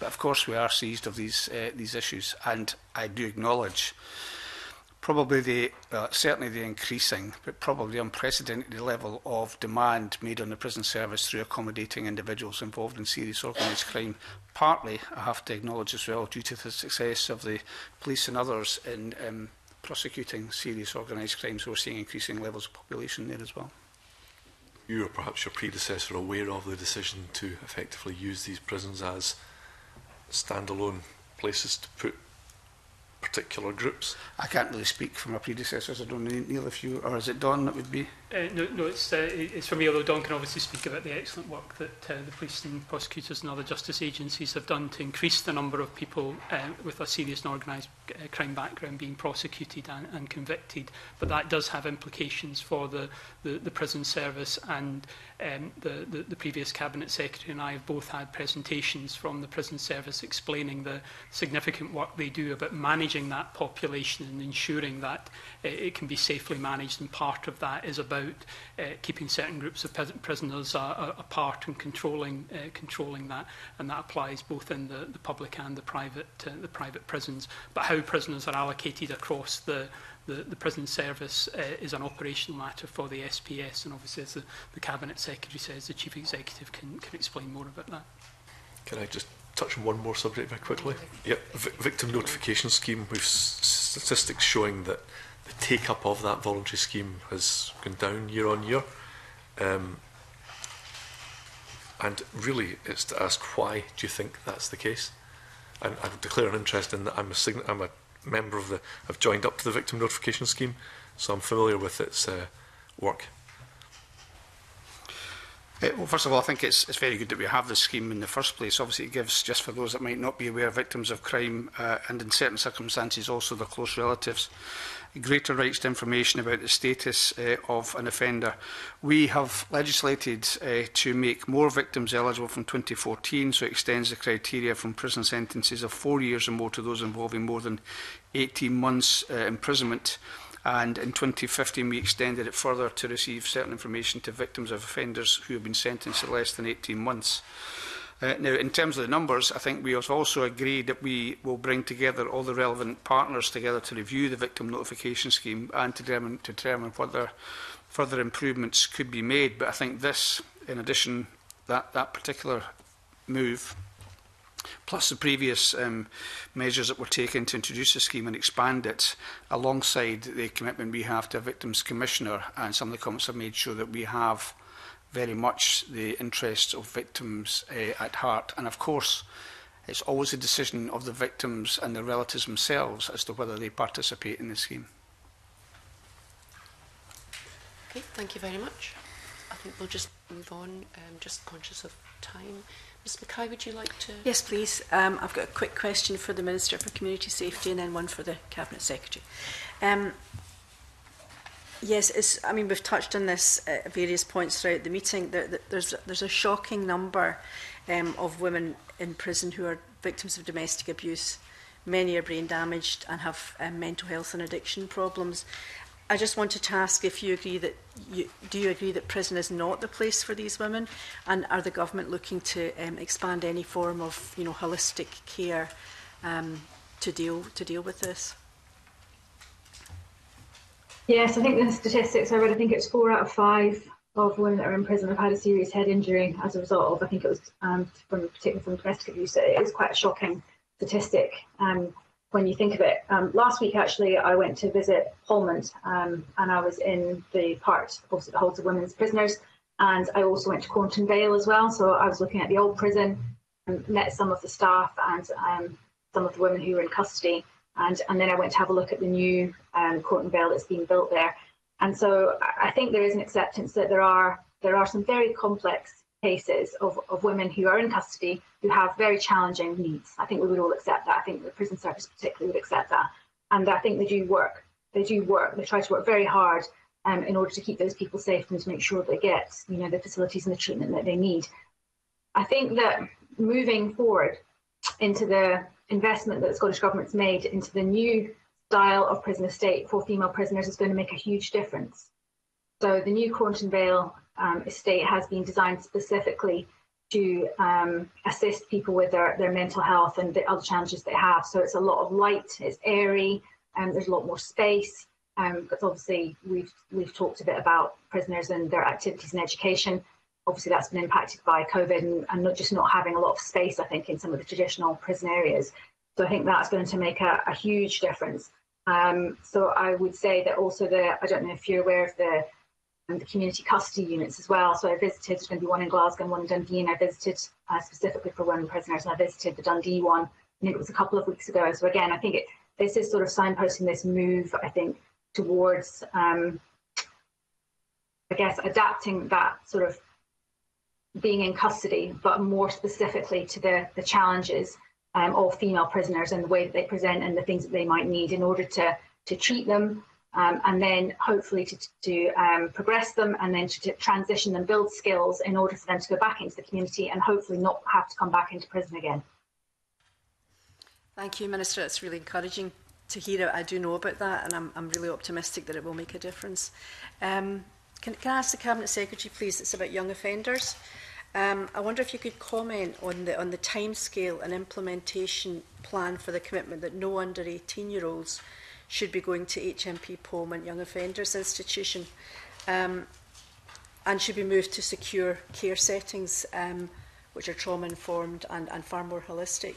Um, I had a meeting in my constituency um, last week with um, the director of a care home, and he he spoke of his despair that sheriffs were sending um, children, young people, to prison, and uh, he, you know, he said he and other secure care homes throughout Scotland have capacity for them, where they could be dealt with in a much more trauma informed way, and that, you know. Um, basically they, they shouldn't be being sent to prison. So I wonder, I, I know this has been a subject um, of interest for some time, and I wonder if you had any idea on the sort of time scale when, when, when, when this would come, you know, be a reality. Uh, yeah, and that, thanks very much for the, the, the question. And I think uh, Neil was looking to come in in relation to that because he's been involved in it, as you say, uh, Ms McGuire, for a long time. It's been ongoing, and I think there's been very substantial progress made in relation to it. I think we're down to in the low teens but that is still too many, as you say. Um, so most recently, I've spoken with both Community Justice Scotland and I think it was SACRO in relation to this issue in particular, to see what further can be done. And we are looking to take very early action, but again, it's probably a bit premature to be too specific and to know exactly, but I don't know, Neil's been involved in this uh, for far longer than I have, if he wants to say. I mean, it's really around the whole system approach, which is what we've done now for a number of years, but following that right the way through. Uh, and I think we've all been aware of uh, particular tragic cases uh, in that circumstance, which were uh, desperately keen to avoid. Um, And the whole system approach, of course, also relies on, uh, to go back to a previous question, making sure the mental health and other support um, is there as necessary. I don't know if you want to add to that, Neil. Yeah, just to confirm it, I mean, it's, a, it's a hugely impressive piece of work, the whole system approach, and it's obviously something we have to keep focusing on and, uh, and, uh, and keep working on but just looking at the figures, the, the reduction in the number of people coming into the, the, the justice system on a French grounds down 70%, the number of people aged under uh, 21 coming into the, the prison system down 70% is, uh, as well. And that's entirely to do with the issues that the convener you were mentioning earlier on around diversion, uh, around interventions that direct people away from the, the, the justice system. And we can absolutely see the, the, the lessons that we can, uh, that we can learn from, from that. Obviously, now that the position is that, as the Cabinet Secretary says, there are very small numbers of um, 16 and 17 year olds who are in Uh, uh, young offenders uh, institutes, and the, the, the, aim is to try and uh, move to the position where those are not in. That's going to require primary legislative changes, so obviously the timescales for that will have to be have to be factored into it. But I can confirm, obviously, it will be reflected in the, the programme for government next week in terms of specific timescales, but it's it's what that we've been working on prior to the election and is a priority for, for this Parliament. Thank you. Um, I could just flag up that this um, director also had great concern over the funding of secure care homes and how, how that was, um, you know, the, the process for that and how, you know, it was sort of hindering a lot of the good work that could be done. Um, and I hope that that would maybe be explored in the wider in the wider sense as well. Uh, from one part to hear from uh, the individual concerned about those issues, it would be useful to, to get that. Uh, he's got many, many years of experience in, in, in social work and in the care setting, so I'm sure he'd be delighted. Thank you. Uh, just to clarify that we have, there's a group, the Youth Justice uh, Improvement Board are looking at this and reporting back uh, on the 15th of September. And just to be absolutely clear about the numbers, and it maybe adds to the concern which was raised by Mr Green earlier on about remand, um, the numbers just now are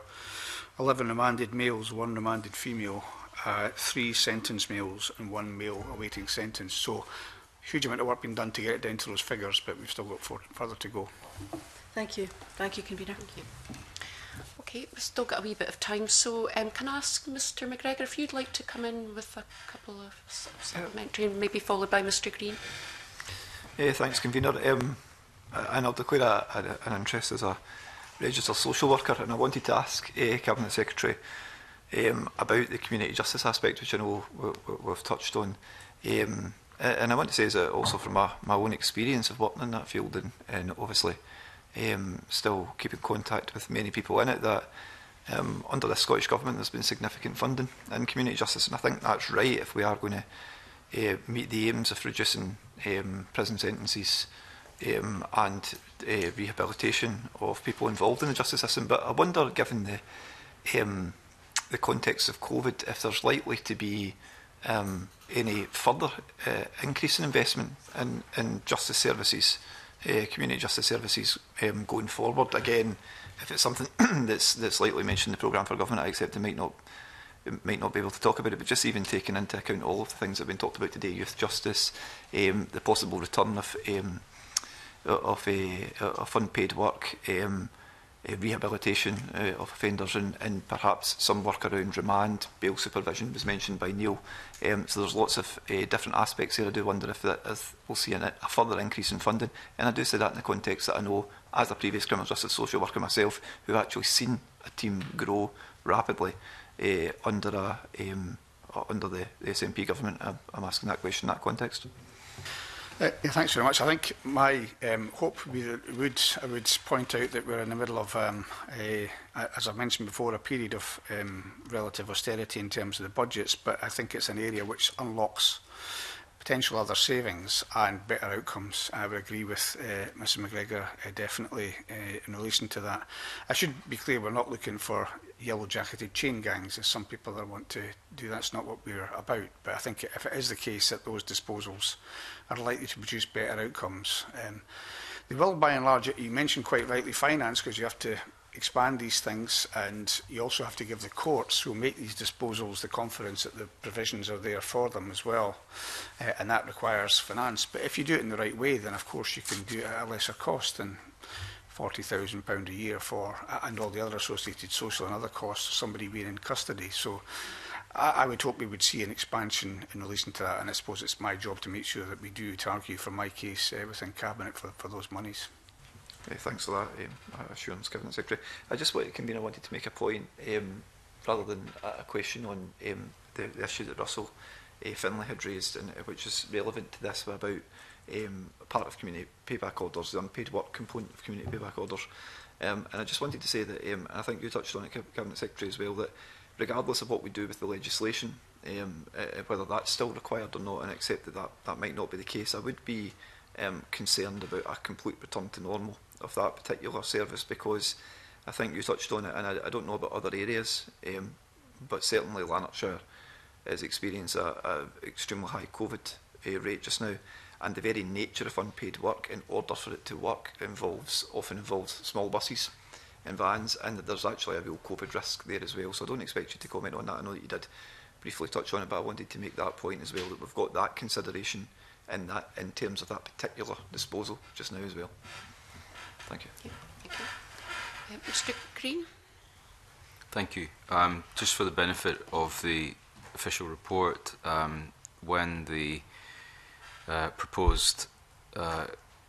cuts to the disposals of community orders were voted on. The Scottish Conservatives voted against that, just for the, uh, as we discussed it, and I think rightly so.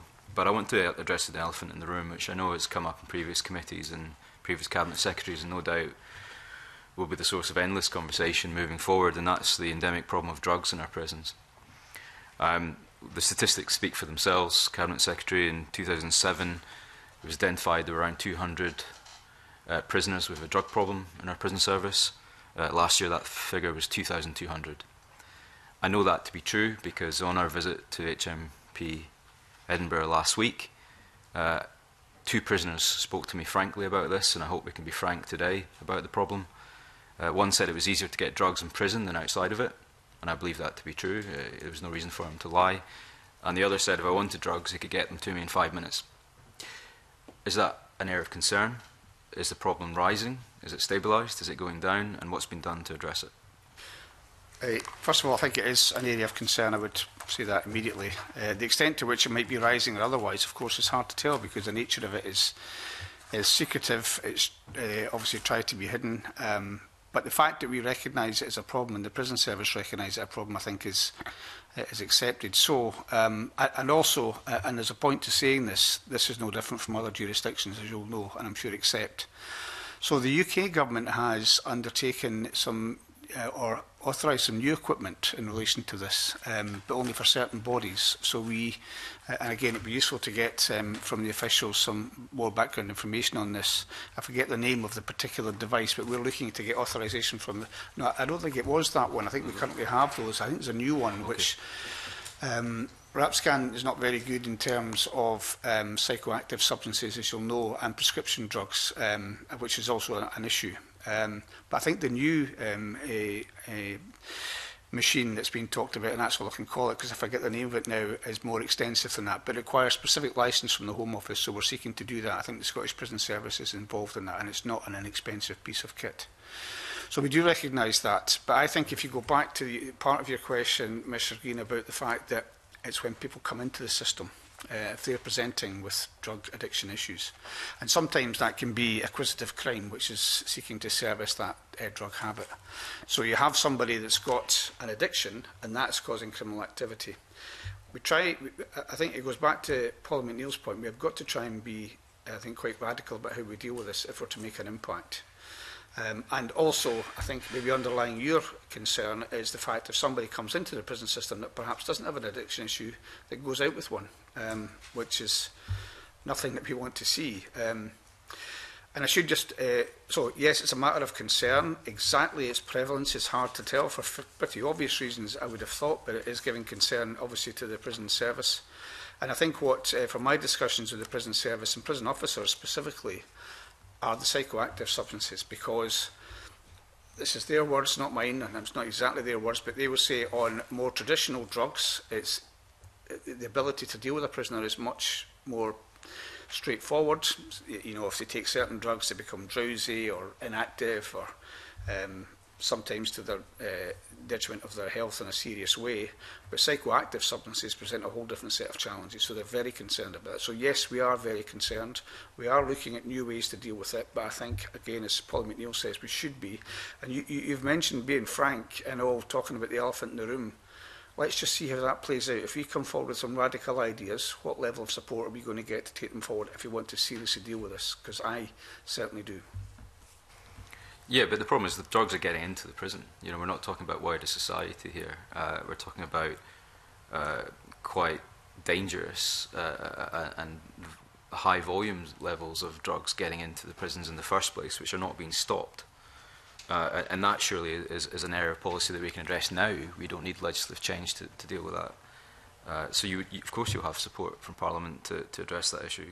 There, there are people dying of drug overdoses in a prison. There are people entering the system without addictions and leaving it with. And that, that sounds utterly bizarre uh, to us. Um, and I, I, perhaps linked to that is the issue of suicide in prisons. Um, uh, the suicide rate in Scottish prisons is around, or, or was last time I, I, checked, around 125 per 100,000. Um, that in itself is around 10 times the average in wider society. So there clearly are issues here around mental health uh, in prisons and also the safety of prisoners, uh, given the context of the serious organised crime activity that's taken place in our prisons and some of the issues that have been quite uh, rightly raised in the media in recent weeks.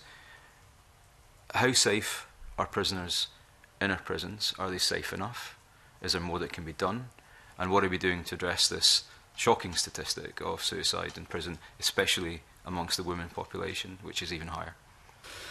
Well, I think during the course of the last um, hour and a half, we've heard a number of things which we intend to take forward, which address that, whether it's in terms of having to do more in terms of mental health support in prisons, also the way in which um, entrance to the custody system uh, is triaged, so to understand what is driving people when they come in. I, I, and I think you heard a pretty extensive response from the Minister about how we're trying to deal with some of these issues in, in terms of women in custody as well. So I think we have tried to address um, these issues. But all I would say is the things which you said, which I think I've just said beforehand about, for example, the possibility of somebody going into prison without an addiction and coming out with one, you know, that, that horrifies society, it horrifies me.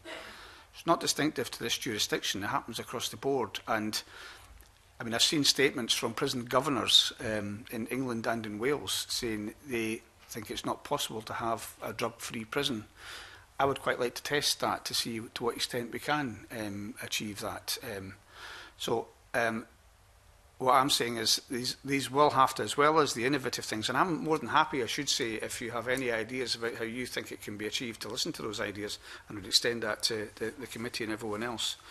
But in the meantime, through the new equipment that I've mentioned, through the training we do of um, prison officers, which has been, I would concede, limited during the pandemic, um, Uh, so through the training of prison officers and through some of the changes to the prison system, we are seeking to deal with this and we should not be accepting Uh, as inevitable the presence of drugs uh, in prison. Uh, on the prisoner safety, the vast majority, I think, of prisoners are able to serve at their time in, in relative safety. But we've already mentioned, I think, in response to Mr Finley's questions, the danger represented by criminals um, incarcerated because of violent crime and who are continually willing to perpetrate violent crime. That represents a risk. Prison is not a risk-free environment. I'm not trying to pretend that it is. It's our job to try and minimise that risk.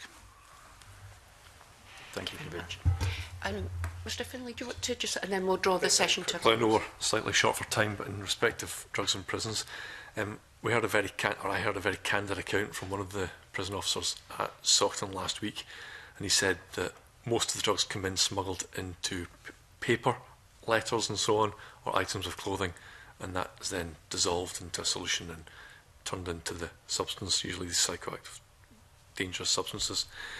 Uh, during the COVID lockdown, these letters were getting stopped and photocopied in order to prevent spread of COVID, and the prison saw a dramatic reduction in the number of cases of prisoners under the influence of drugs. As soon as those restrictions ended and the letters continued going their merry way to the, into the prison, uh, they saw a huge increase, an immediate increase, and indeed in one day, apparently seven ambulances were called to Stockton Prison. Um, so given you're talking about radical ideas or any ideas, if indeed that's the case, and it sounds quite simplistic, but could, could that not be looked at as a matter of urgency to reinstate, other than legally privileged letters, that other letters could, as a matter of routine, be photocopied and, and handed over rather than the originals? Well, again, it'd be useful to have one the officials come in on the equipment which I'm unable to name and whether that would help in the situation. But all I would say is I can't give a commitment to doing that because there might be, I don't know, there might be human rights uh, implications of it, and I, I imagine there probably would be. But in the spirit of uh, consensus, for my part, I'm willing to look at it. And I know that these proceedings will be watched and, if not uh, read afterwards, by the prison service. Um, I would imagine that's something that's occurred to them, but if it hasn't done, why shouldn't we consider what the possibilities are in relation to that? And in the spirit of an, an actual positive suggestion being made, I'm very grateful for that, and we will treat it seriously. It may be that we can't do it for the reasons I've mentioned, but we will certainly look at it. Thank you. Okay. Thank you Thank very you. much. Um, okay, that uh, brings us part of the uh, meeting to a close, and thank you very much, Cabinet Secretary Minister um, for attending. And I think we'll just now take a short break uh, to allow for a changeover of officials. Thank you.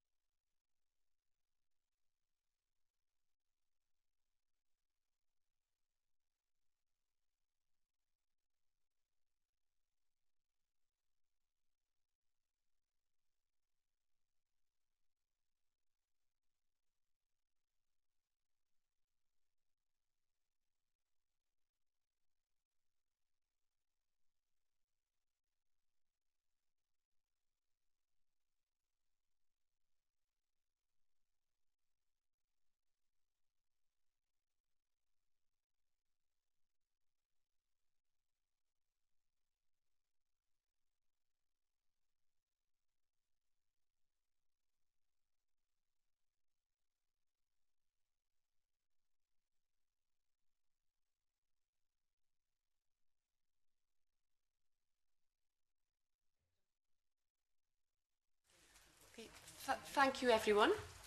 Um, so the next item of business this morning is consideration of the Police, Crime, Courts and Sentencing Bill Legislative Consent Memorandum. And I welcome back Keith Brown, Cabinet Secretary for Justice and Veterans, and I also welcome Graham Thompson, Head of Police Powers and Workforce Unit of the Scottish Government. Uh, and I refer members to paper number three. So I invite the Cabinet Secretary to make a short opening statement. Thank you, Convener. I'm grateful again for the committee's uh, giving the opportunity to take questions on the LCM for the Police Crime Sentencing and Courts Bill today. Uh, I recognise, first of all, that crime has no respect for borders or boundaries and, as such, has to be tackled across multiple jurisdictions. Applying the relevant provisions of the bill to Scotland will help meet the Scottish Government's commitment to modernising and reforming the justice system and to making Scotland a safer, fairer and more inclusive country. The UK government's stated policy aim of the bill is to enhance the democratic accountability of police forces, also to build public confidence in policing and improve the efficiency and effectiveness of emergency services through closer collaboration.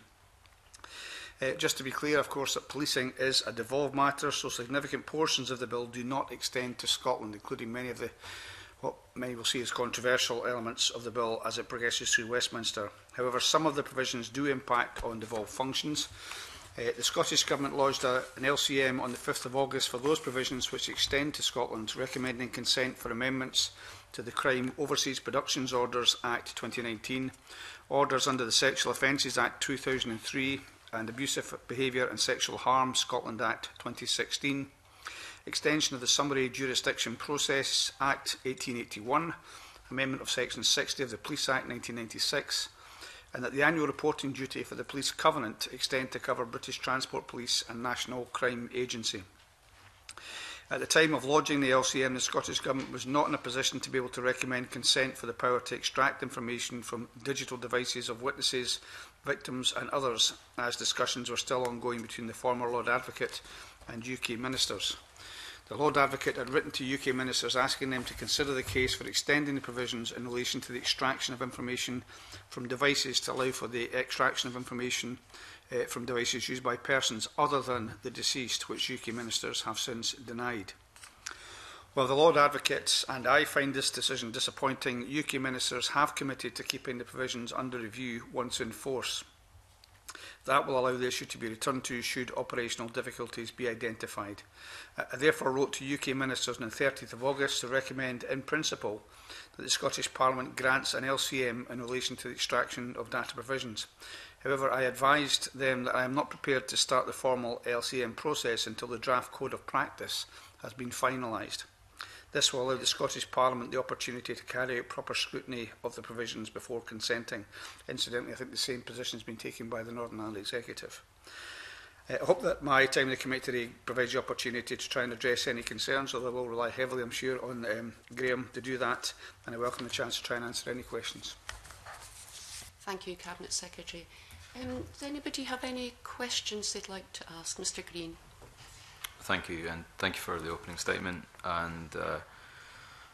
the papers uh, cover this quite extensively. Um, I guess the, the first question perhaps is not for the Cabinet Secretary and more as a technical question uh, with regards to the uh, draft legislative consent motion, which um, I, I, I welcome that it, it, it does um, agree to the to the provisions. But uh, you stated that the Scottish Government does Is it that you do not consent or do not agree with consent being given to the issue of the, the extraction of data from digital devices?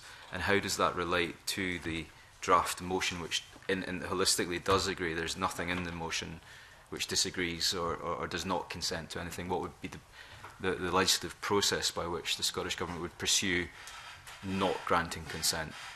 Uh, um, maybe let's, as you suggest, the official uh, game come in to answer part of that, but just to say that the bit that we have a concern with, we've agreed to essentially the thrust of what's there, it's just that the code of conduct which will be used in relation to the extraction of data from devices, we should see that first before we agree. We've seen a draft, uh, the national, the, the Northern Ireland executive seen the same, but they want to see the final one before just proceeding with that consent, and then we will proceed with it.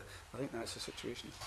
It is. Uh, the only thing I would add to that is um, what we're uh, the Cabinet Secretary is asking today is that the uh, legislative consent um, motion be agreed to with the exception of the data extraction issues. And if we uh, come back and are content with the code of practice as stand, would bring a supplementary legislative consent motion back for consideration by this committee in relation to those those provisions. So, uh, sorry, just, just on a technical matter then. So, that the, if the Scottish Government was were not happy with either the draft wording of the Code of Conduct or what was being proposed by UK ministers, they would amend the legislative consent motion or uh, agree to it as is drafted, but subsequently issue another one? Or I'm, um, I'm sorry, I'm still a bit confused as to the process.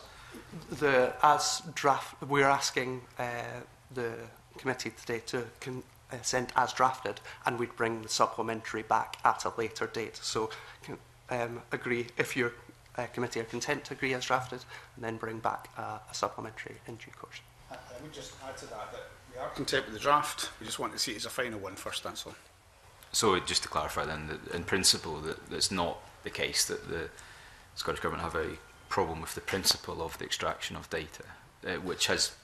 is, is perhaps how it was reported. Yeah, although, eh, as I say, the, the concerns were expressed by the Lord Advocate previously because of its interrelationship with uh, his, at that time, functions. Um, but if the code of conduct is sufficient, I, I'm, we've had that assurance from the UK government will come back to us in future as well. So with those things, and if the draft, I think, is what is in the final one, then it shouldn't be an issue for us, I think. Thank you. It's helpful. Thank you. Thank you very much, Commissioner. Um, just to follow on from that, um, just try to get my head around what it's supposed to be doing. Um, I know that it's where the device owner has agreed, so that bit doesn't seem to be contentious. And the framework is about ensuring that, because I, mean, I understand a lot of cases will now involve the extraction of data from mobile devices, so it's quite a big issue, to ensure that, um, the police and other agencies – are doing that within a statutory legal framework and not just using the common law as kind of the basis of it, is my understanding. Um, I, I would I would concur that if the Scottish Government's position is just to be cautious about that, just because it is going to be a big issue, that you want to see the draft code of practice just before you give final consent seems to be to be reasonable. I just wanted to make sure that um, that that's my kind of basic understanding of what the LCM is. It's already where the owner has given consent or there's some other provisions where it's someone who was uh, incapacity or a child, but in the main it's a device owner. I think I'm right in saying, and I'll be corrected by the official if not, that we have that legal basis already in Scotland. Down south, it's not as common law that's used, and it's trying to make those things consistent. I think the point of disagreement before was whether it could be extended to um, people that died. I think that was the point Lord Advocate was interested in, and we've got some assurance in that. It's not going to be agreed to by UK ministers at this stage, but we've got some assurances around that which we're willing to accept. But yes, and the only point is to say that a draft code of conduct is not the same as a final code of conduct. So if we know that the UK government is saying this is our final version of it, there's nothing that's going to give us cause for concern. And just as background, this committee, our predecessors,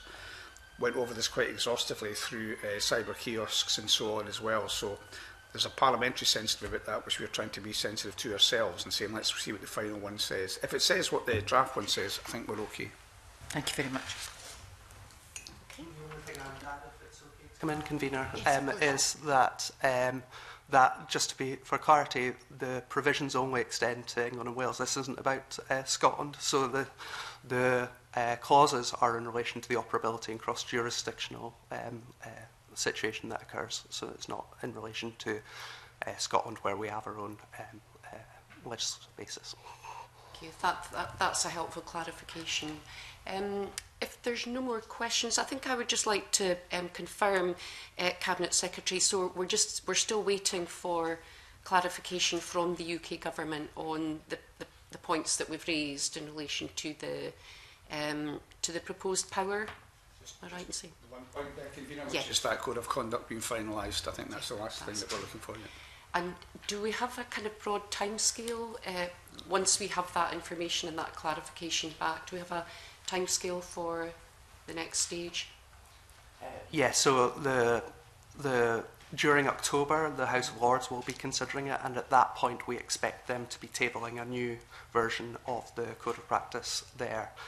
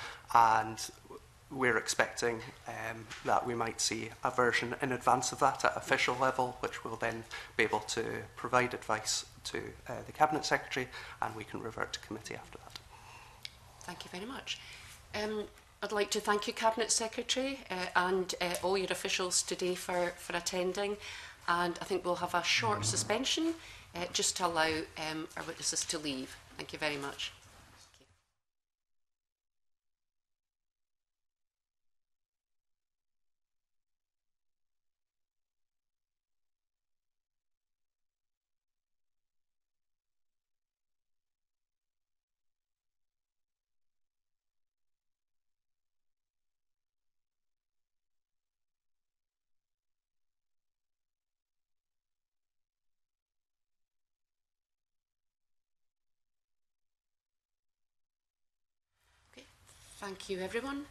Um, so moving on, um, the, the committee will now consider the legislative consent memorandum for the Police, Crime, Courts and Sentencing Bill. And I'd like to invite views from members on any particular issues um, that you wish to be included in the committee's report on the LCM. Anything?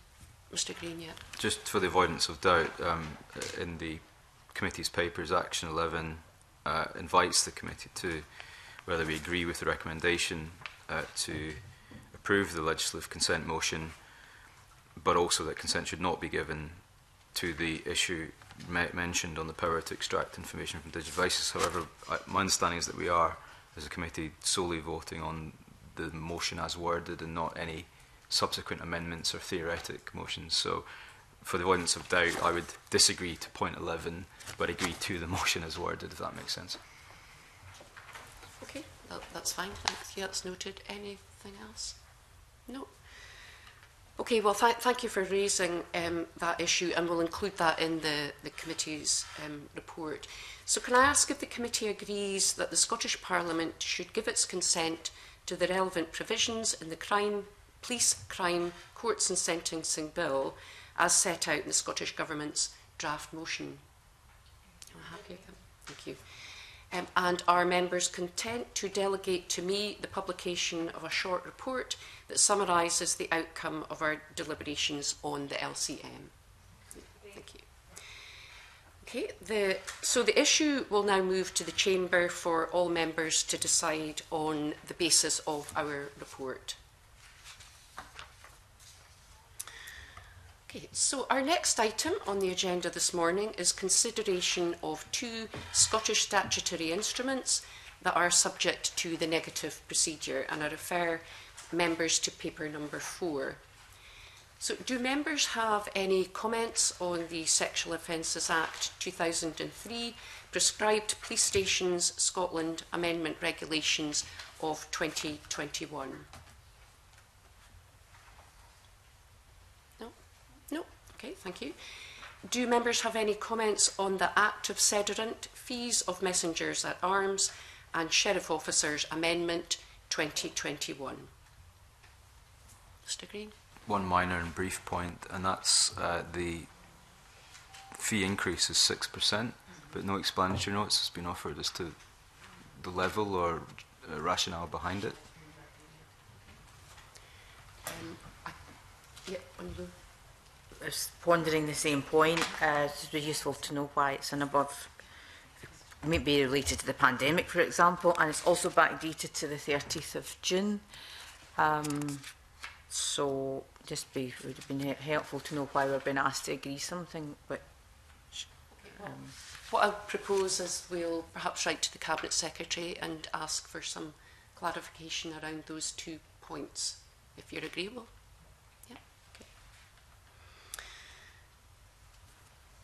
Okay, so that's fine. Um, thank you for that. So we'll now move into private session. Um, and that concludes the public part of the meeting. Um, our next meeting will be on Wednesday, the 8th of September, when we will hold a roundtable evidence session on the current impacts of COVID-19 in the justice sector and our next steps for recovery. Uh, we now move into private session for the final item on our agenda. Thank you.